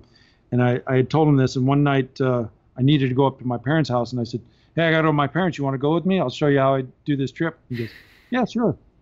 Scared the living hell out of me. He said he would never ride with me again. he thought I was absolutely insane. And I remember at work one day, like I say, from work to the house was 28 miles, and it's about two o'clock in the afternoon. And my boss, uh, Alain Clenet, he uh, he leans over and he's got he's French and he's got this accent. He says, "Hey, Chipe," and I said, "Yes." He says, "Do you have the drawing you did of the automobile?" And I said, uh, "Actually, it's at my house. This is when I was living with my parents. I had a studio set up there, so I would finish artwork at night in my in my studio there." I said, "It's up there. Uh, do you need it?" And he says, uh, "Never mind." And I said, "What do you need it for?" He says, "Well, I have a meeting in an hour, and I was going to use it in that meeting." All right. And I said, I can get there and back in an hour. He says, You cannot get to Solvang there and back in an hour. I said, I'll tell you what, I'll clock out and I'll clock back in. And if I can do it in less than an hour, you pay me for the hour. Okay. 52 minutes there, there and back. Now, statute of limitations has expired apparently. I clocked out and I showed him the, the time. And he says, He looks at me. He says, You're insane. And I don't ever want you to do that again. but it was 52 minutes and i remember i came around one corner and i'm in a drift and there's this long downhill straight and then it goes up on the other side. And about maybe and this this whole stretch is about maybe two and a quarter miles and you can see that whole straight. You can see and when i came around the first corner i could see a car that's not quite halfway that's in front of me going in the same direction and I see another car coming around the corner that's like two and a half miles up.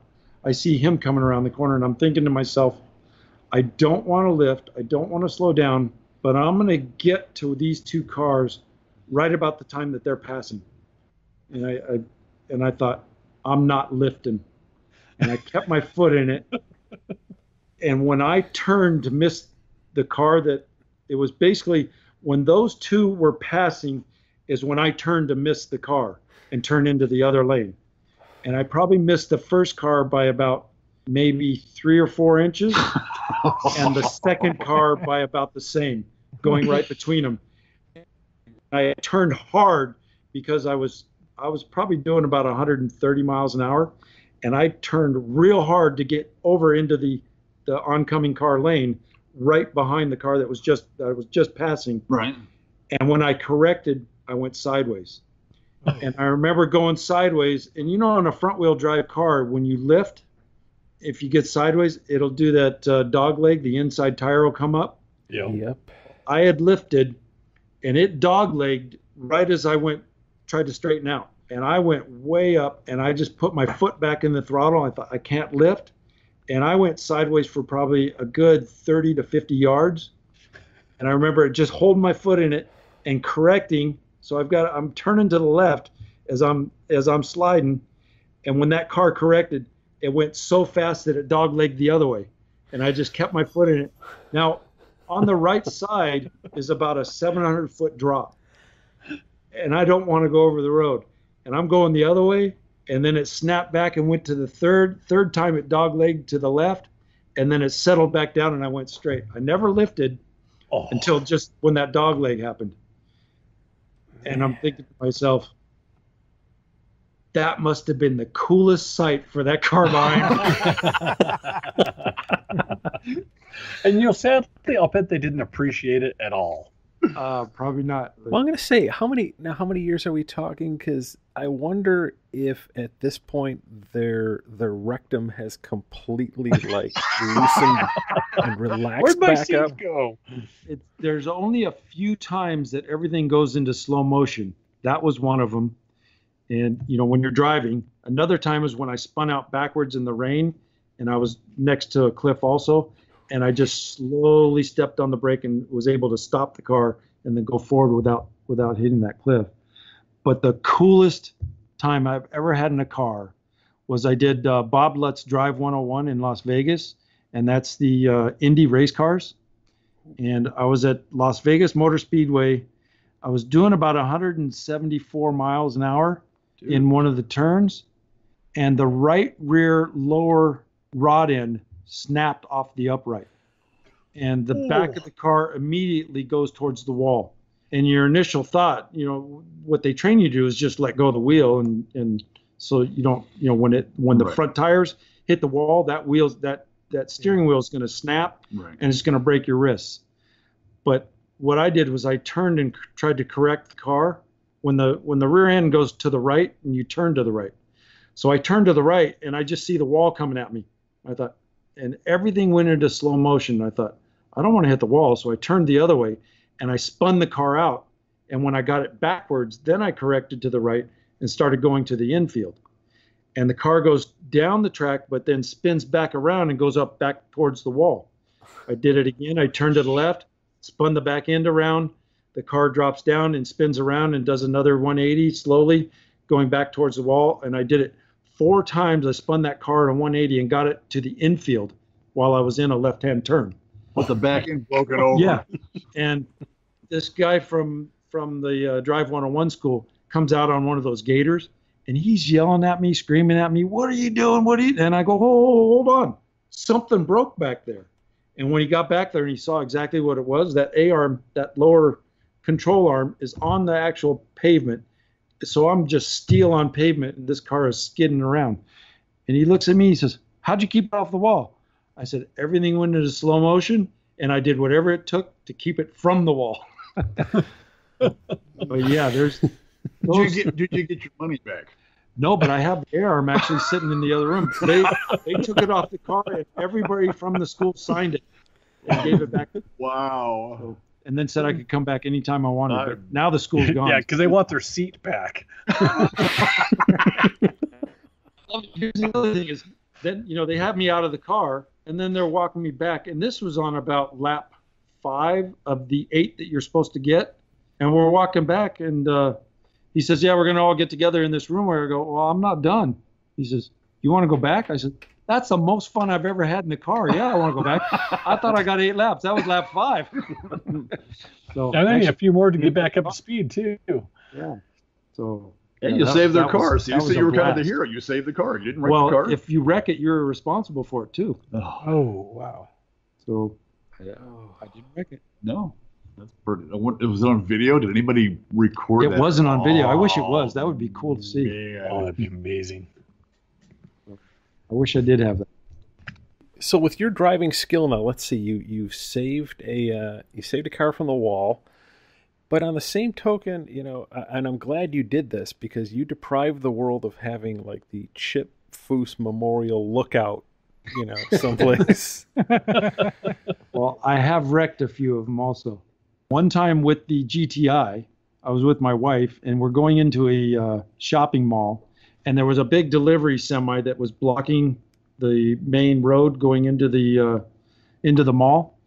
So I remember I said to my wife, "Ah, road race," and I made a right turn, and I hit the throttle, and I went and I spun around a, a couple parked cars, and coming back in. So I was going around the back of the truck, wasn't expecting another car to be coming up that aisle and I came around and I slammed on the brakes in this car. It was a brand new Toyota. They went and I stopped, but she hit my front bumper that was hanging out and just can opened the uh, the wheel well on the passenger side of her Toyota. She's yelling and screaming at me, and, and I stop, and, and my wife is yelling and screaming at me. You're an idiot. This and that. She wasn't my wife at the time, just my girlfriend.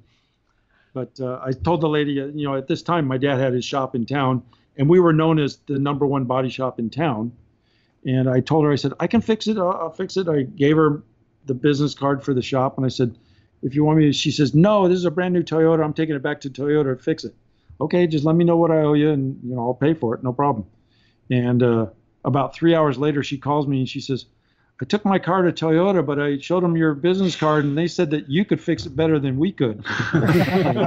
so I got the job and I fixed it. Well, then she wasn't management anymore. Everything was No. all good. So No, no, it was fine. I actually gave her my car to drive while I fixed hers. oh, that's I said, "Here, I don't want you to be without a car. Go ahead, take it." I did that with my sister when, you know, I used to drive that San Marcos Pass, and you know, I told you how I used to drift, and when I'd see headlights, I'd go to the outside and let a car pass and drift back in. I did that a couple times, and that other car happened to be a cop oh. because you can't see them until they get around the corner. so I would just pull over, and then they would turn around, and I got my tickets. But I lost my license twice, and one time I had a 78 Honda Civic that I was driving when I lost my license once. And I gave it to my sister to drive while I was without a license for six months. And I remember when uh, I called my sister up and I said, Hey, I need my car back. I'm getting my license back. So she comes over to my parents' house with my car. And I, I would happen to be out front working on my dad's car as she pulls up. And this thing is making an awful noise, just this grinding, horrible noise. And I turn and I see her pull up and I'm like, what the heck is that? And I walk out over there and I look in there and there's about 10 inches of McDonald's and Taco Bell papers in the bottom of the car.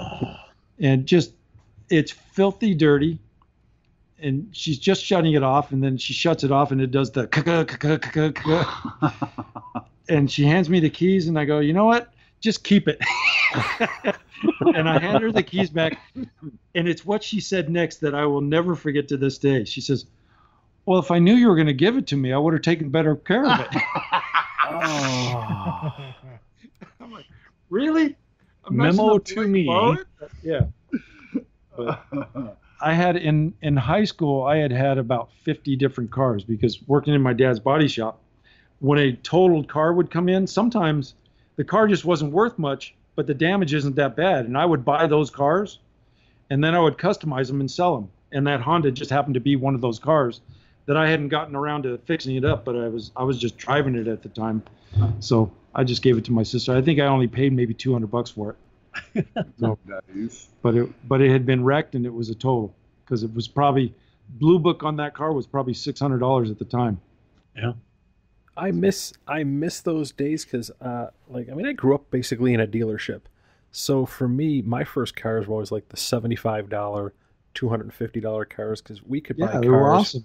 We could buy cars for like fifty bucks over what the dealership had into them when they'd come in if they didn't want to put them on the lot. Right. So man, stuff would come in, and especially when I worked, you know, I was just starting out and I was a detail pup. You'd see everything get parked back there. So I'd be running back there with these hold tags all the time, and I was like, "Yeah, I'm getting that one. I'm going to buy this one." You bet.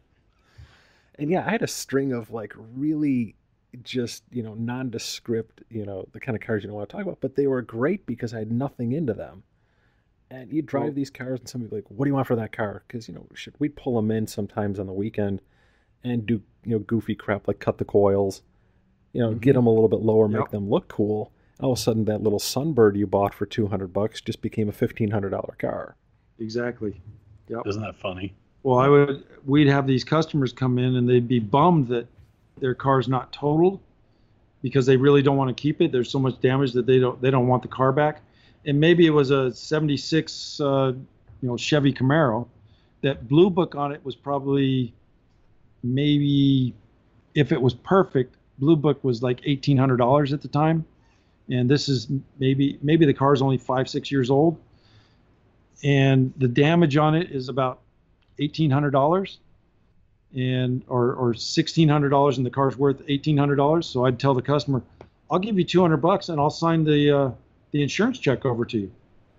And they say, oh okay, because they they didn't want the car back, and yeah, I'd be in at two hundred bucks, two weeks worth of work, and I'd sell it for thirty two hundred dollars because I just made it look cool. Nice. So, so I did a ton of those in high school and and while I was at City College too.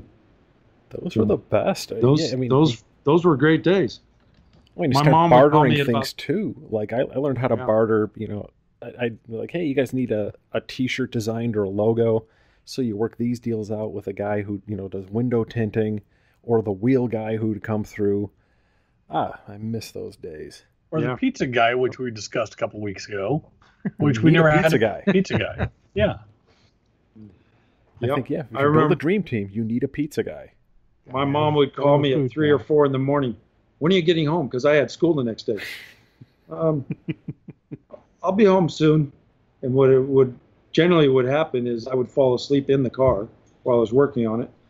And then at uh, seven o'clock, which is when the painters would get to the shop, they would roll the door open. That would that would wake me up. I'd run to my truck, fly home, take a quick shower, and I'd make it to school by eight. Man. Whatever it took. Yeah. I didn't sleep much as a kid. Don't sleep much now. I sleep more now than I ever used to. Overhaulin' really kicked my tail. Oh, I bet. especially third season was the worst. We did 29 cars in nine months. So that was an average of 24 days a month that we were working. And on Overhaulin', when we were doing them in the eight days, I generally, maybe I would take two naps. I would nap when the car was in the paint shop, and sometimes I'd find another nap. But u- usually, just while the car was in the booth and whoever was painting it was painting it, I would catch some sleep. Most of the time, it was in uh, Mitch Lanzini's office while he was in the booth painting the car. But I would do most of those eight days with zero sleep. So there was basically almost 24 days a month that I wasn't sleeping.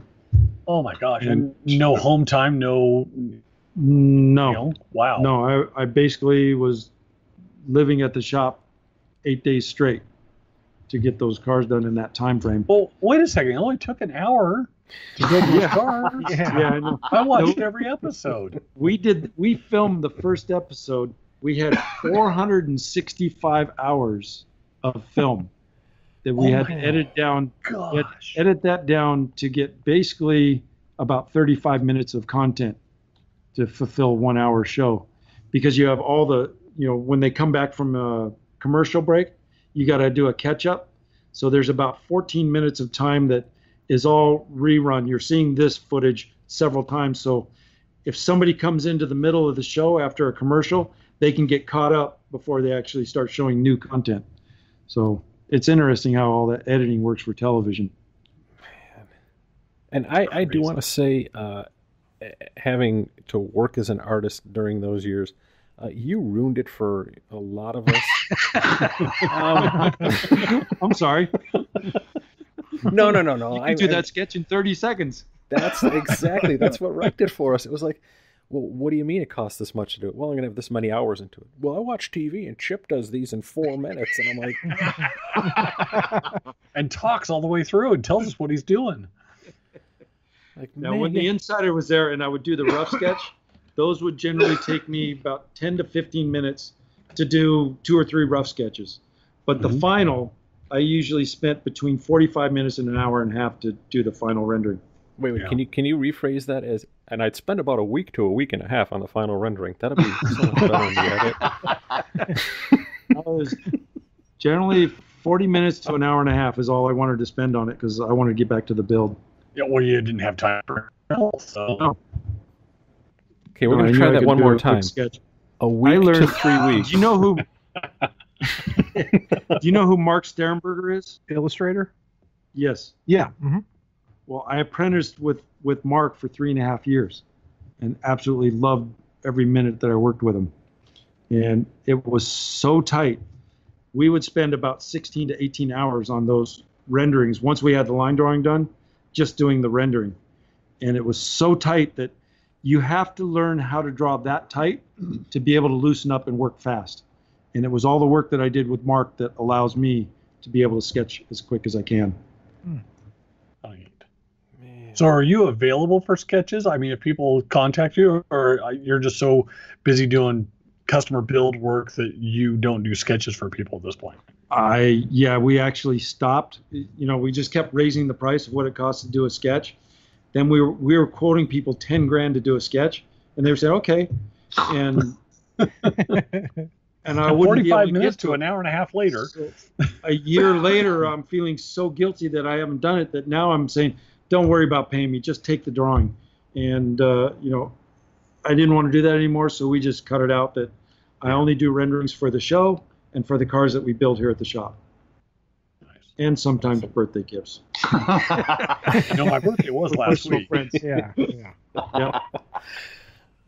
Oh, Carson Carson's sitting in here and he's just nodding and He giving got a one. thumbs up. So yeah, he's, he, he obviously knows. And Carson is no slouch with a marker either, so don't. No. No, Carson's very, very talented. Carson is definitely not a slouch.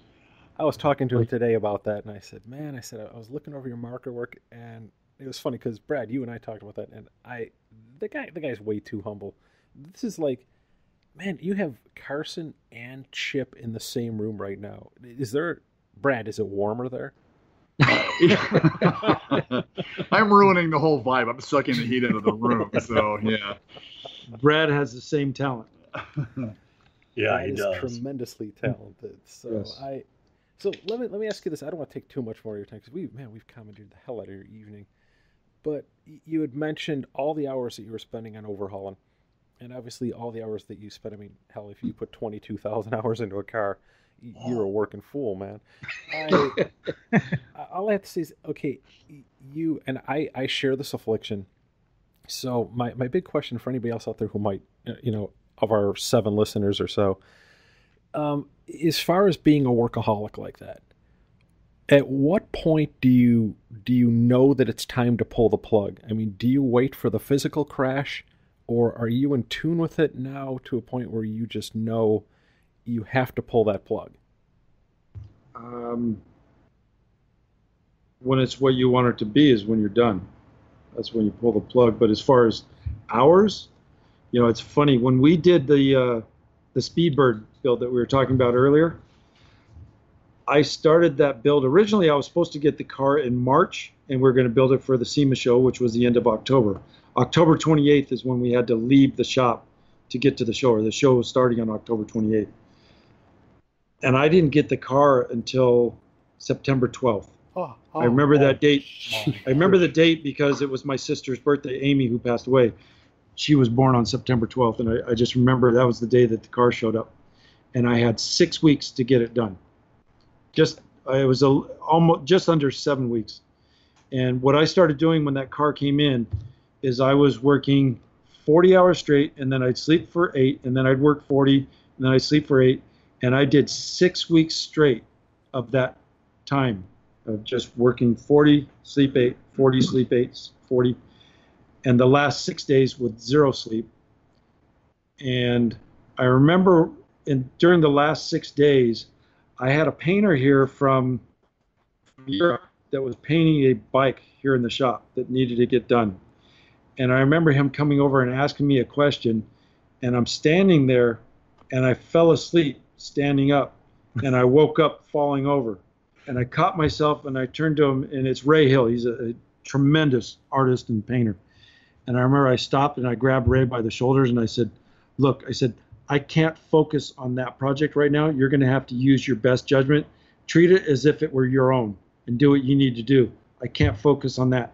But then I could turn around and go back to the car, and I'm wide awake and focused, and I can continue working on it. And it's the same way if my wife tries to talk to me, I'll fall asleep while she's talking to me about something that has nothing to do with the project. But I have ADHD, and I can hyper focus on one thing, and I'm wide awake until I'm done with it.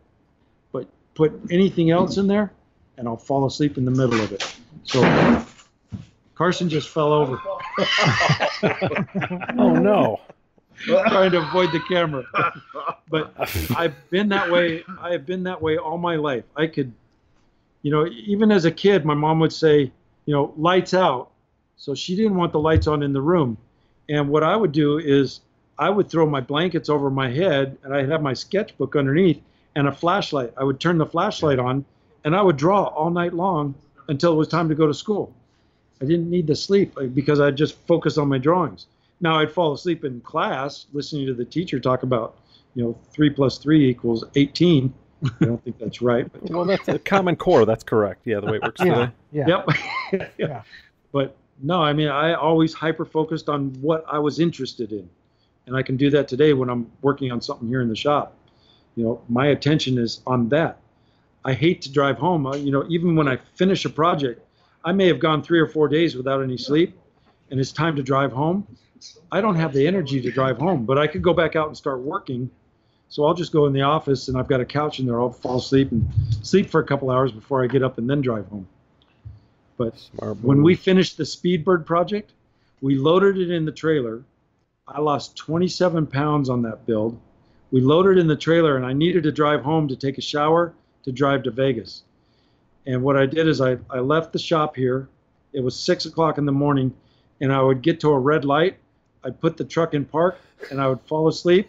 And when the light turned green, everybody behind me would start honking, and I'd put it back in drive. and that's how I got home. And I took a shower, needed to get to Vegas. I had a friend of mine that helped on the build, uh, uh, Tim Fitzpatrick, who's a clay modeler, and his best friend Donnie were, were both in the truck following my wife and I. I got on the freeway, and when I was in Corona, I fell asleep behind the wheel and woke up about three times within a mile. And I had my cell phone, and I called Tim, who's driving behind me, and I said, Can Donnie drive this truck to Vegas? I'm not going to make it. I'm falling asleep here and my wife was all ticked off to me at me because I was falling asleep, and she wasn't going to drive a truck hauling a trailer. So uh, Donnie said he would drive. He got in the truck, he drove, and I fell asleep in the back seat, and we got to Vegas on time. But we made it with about five minutes to spare to get that car into the show.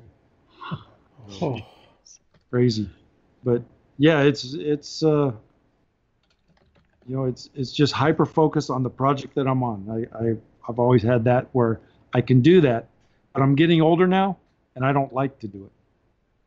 I sleep more now. Like I was telling you earlier, I sleep more now than I ever used to. I'll I'll fall asleep on the couch just watching. You know, I like to sit on the couch and watch TV with my wife now, and we'll go in there. And if it's uh, you know, a show that I have no interest in, but I just want to be there with my wife, I'm asleep in five minutes. So the, so the Hallmark Channel. The Hallmark You're Channel. You're on the Hallmark Channel, guys. I feel bad because uh, I went to see a movie and uh, my, my girlfriend, at one point, I, I noticed I was dozing off and I thought I was catching myself. I'm thinking I'm being all smooth. We're sitting in the theater and it's a packed theater. And at one point, it was funny because I just looked at it and I, I thought in my head, I swear I heard myself snoring. And I, I just, I, I kind of leaned over and I said, Hey, um, I said, you, you let me know if I was snoring, wouldn't you? And she goes, Oh, yeah, of course I'll let you know if you're snoring. And we get done with the movie and we're walking out. And she's just kind of laughing, and I said, "What?" She says, "I'm just wondering what the lady next to you was thinking." I said, "Why?" She says, "Your head is leaned back. You're snoring." she goes, "And I'm poking you, trying to wake you up." I'm thinking, yeah, maybe it's time to cut the work hours down just a little I'm- bit now and then. I've been there too in the movie theaters like that. Yep. It's the worst. I- Yeah. I'm here, but I'm not here. You yes, know? I'm going to watch this. It's about being physically close during this. It's funny because Yeah. when we were all growing up, we always used to laugh at dad would always fall asleep in front of the TV and we'd all chuckle and laugh, but now we're dad. one year one year at SEMA, uh, you know, my wife, I promised her that we would go to dinner. We were going to go to a restaurant and have dinner, and we just had this one event that we had to attend because of one of my sponsors was putting it on. So we were going to go to this event and then go to dinner. And I got to that event, and then it became a photos and uh, autograph session. And by the time we got out of there, it was after 11 o'clock at night. And my wife said something to me about going to dinner. I said, let's just go to bed. And the next thing I know is I've got a shoe flying at my head. like, all right, we're going to dinner. Okay, I got I got one last question to ask. This, this is me kind of because it's not everybody's going to know this about you, and it's something again we've talked about. Um, we talked a lot about a lot of stuff going to Disneyland. That was that was a lot of fun. Yeah. Um, your name, your your first day at kindergarten. Yes. Can we can we talk about your first day in Sure. kindergarten before we before we end this thing? And I had talked about Brian. I said I want to talk about his first day at kindergarten. He he learned something about himself he did not know, and uh, well, I'll tell you exactly how it went. so let's let's let's I'll just let you tell this. I get to my first day of kindergarten, and the teacher calls roll. And at the end of roll call, she says, Is there anybody here that I didn't call your name? And I raised my hand. She says, What's your name? And I said, Chipper, because I was named Chipper before I was given my legal name. She says, What's your last name? And I said, Foose. And she says, Oh, you're Douglas. And I said, No, I'm not. and what had happened is I was born in the hospital, and we stayed in the hospital for four days. And the minute that I was born, when my mom first saw me, she said that I had these huge puffy cheeks and looked like a chipmunk. And she called me Chipper from the minute she saw me. Well, it was day four that we were leaving the hospital, and the nurse came in and said, uh, "You haven't put a name in the in the on the birth certificate yet." And my dad had a good friend named Douglas, and he wrote Douglas, wanted me to be a Douglas. So he wrote hmm. Douglas on my birth certificate. When I got home, my mom introduced me to my older sister as Chipper. So the only name I had ever heard was Chipper.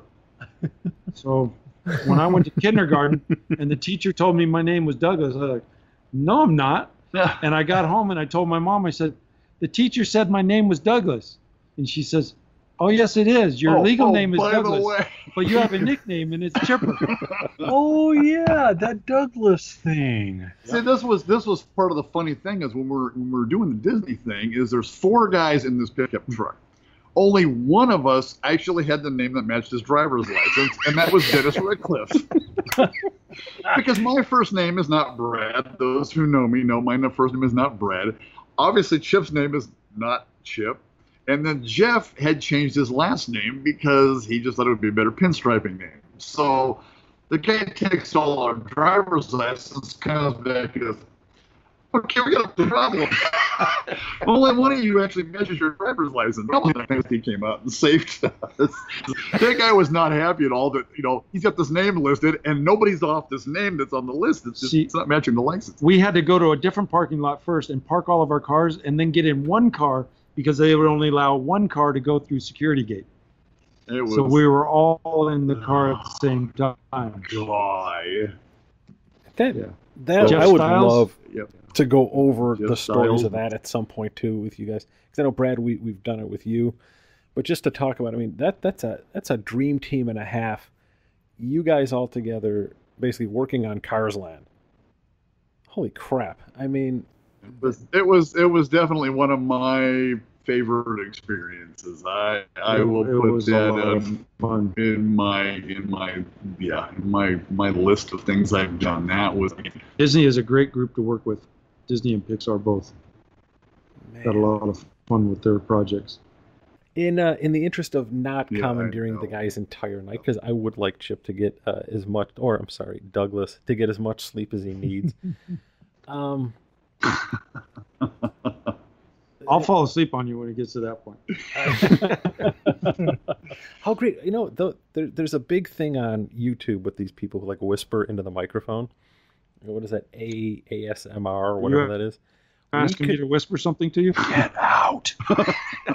That'd be awesome because Chip could do that, or he, we could just have like, and here is an hour and a half of Chip snoring for your entertainment. It's like This- white noise. It's like, what do you listen to to relax? I listen to Chip snoring. I Does my that- snoring really sound like a car? We could market My wife this. says I. My wife says I snore, and I've never heard me snore, so I think she's full of crap. Oh, I've heard me snore many, many times because it wakes me up. So yeah. When I snore, it's a little tiny, like every once in a while I go like that, and it'll wake my wife up, and she's ticked. Now, when I would tell my wife that she does snore, she would say, I do not snore. So one night, she's snoring away in bed, and I pick up the phone and I dial the shop, knowing that there's an answering machine here at the shop. Oh. so the answering machine answers, and I just put the phone next to my wife, and you hear. So I let her I let her do that for about a, a good solid minute, and then I grabbed the phone and I said to everybody at the shop, "That's Lynn snoring," and I hung up. And I didn't say a word to anybody. but Lynn is also I've got a receptionist named Lynn, and Right. Lynn is my wife. So when Lynn gets into the office and she's playing all the messages, she laughed and she put her over the PA so everybody could hear it. and then when my wife gets in she comes into the shop in the afternoon. Then they played it for her, and oh, I will never live that one oh, down. you were in so much trouble. That's awesome though. But, yep. We won. One for the guys. Yeah, but I lost the battle.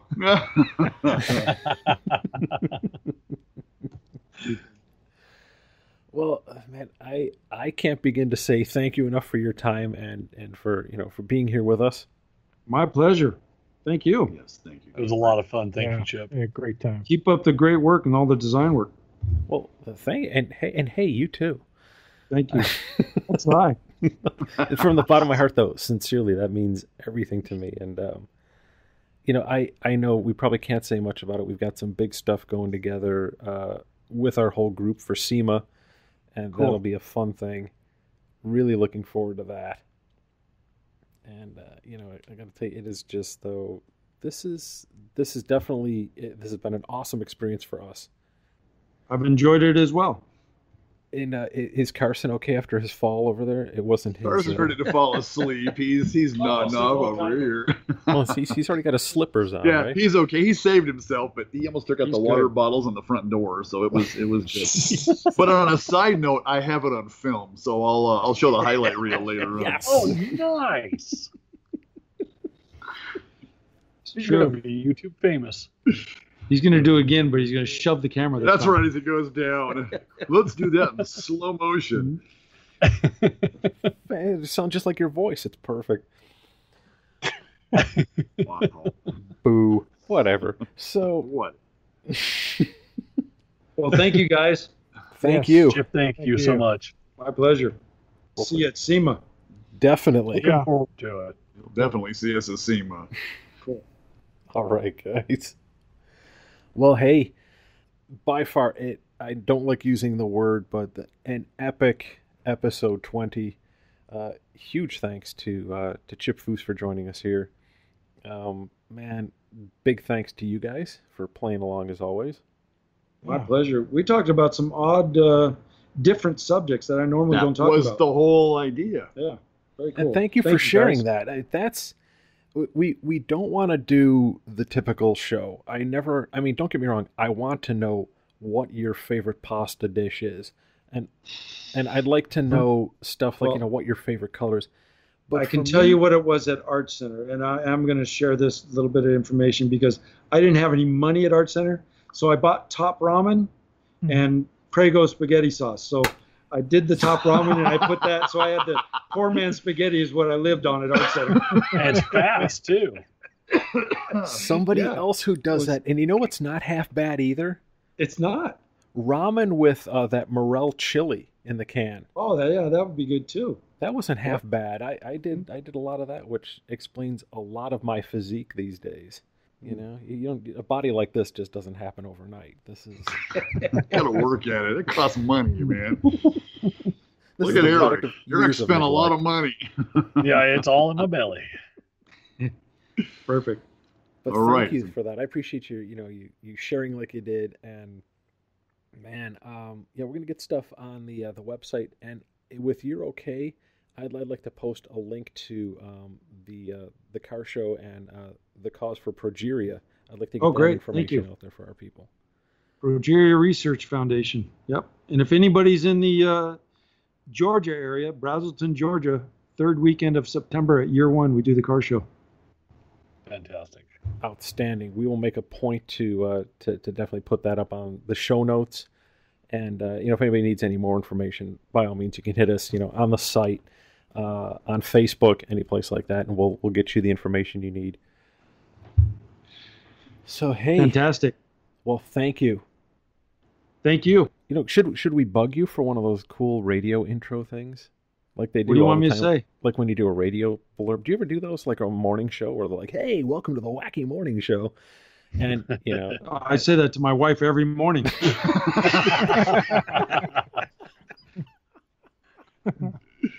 she doesn't appreciate it because she was sound asleep and I just woke her. Uh, the what do air you want? That's awesome. Ready? I am set. Hey, I'm Chip Foose, and you're listening to the Round Six podcast. Well, happy editing. Oh, thank you. Well, it's going to be good. We're not going to edit anything. We're just going to let this fly. yeah, okay. Sure. So, Right. all right, guys. This Well, is the slowest outro I've ever heard. Yeah. Well, I haven't started. I think we've been we working haven't on this sung for the about song 20 yet. minutes now. I, I really wanted to ask him about that Pontiac Aztek that he's bringing to SEMA, um, but I um, figured no, I couldn't. I couldn't. I know it's secret. Come on. Oh, you, you almost have to. It's a, it's a neo. I wanted to classic. do one Well, of you those in know, the worst w- way. well, with your time with Clenet, I knew that you were working on this Pontiac Aztek. It was the Az caliber, and we were hoping uh, you'd tell us a little bit about that. I have drawings. It's a dual cowl, right? I have It's a dual it still, but I have them when I see you. Could have been. a dual cowl Dual ass cowl. caliper. And it's towing a Yugo oh, right. Ooh. for when you get to those places that you don't want to take the uh, dual cal. Oh god. Speaking of putting it in park, hey, that's the greatest uh, segue we've had. um, Our outro. There you go. it gets even better. Well, hey, We're thank you for listening. Shoved it in park. Now turn off the key.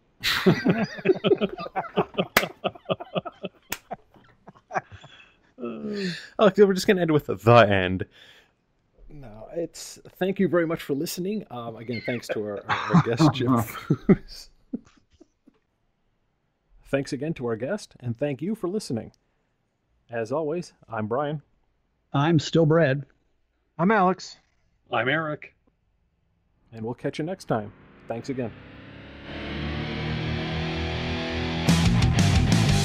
Thanks again for listening, and be sure to keep up with us gearheads over on our website at www.round6pod.com. And if you'd like to, we invite you to follow along with us over on Facebook, Instagram, and be sure to check out all of our latest videos on youtube.com. Does this mean we're done? See, my uh, imagination, I was picturing all, all of you guys in some studio somewhere, and Brad's just the roaming reporter. No, I just when I, when I asked Preston about Keep talking to picturing you, that. said, That's awesome. Keep that There keep you that go. thought. That's how it works. It's, it's, You're it's an in some amazing big studio. place. You probably got Big studio, secretaries right. bringing you coffee and Right. everything else, and they've got slippers on, so you don't hear them There walking you go. past you. It's like it's like watching a sports dinner or something. All sitting at the really Mhm. cool desks and Yep. yeah, lights. Yeah, that's what I was imagining. all, all sitting in ease chairs. We, we, we only hire mutes. It's pretty awesome. Awesome. You guys are lucky. Hairless mutes. It's even better because we can't risk any sound. Perfect. And then we don't get any hair in our coffee either. And you have a uh, five-star restaurant in the room next to you. Yes. Some chef that's cooking things up for you. Yep. I'm gonna go to Taco Bell on my way home. Unless you've ripped through Taco and, Bell. I, and I'll have it finished before I get out of the driveway of Taco Bell.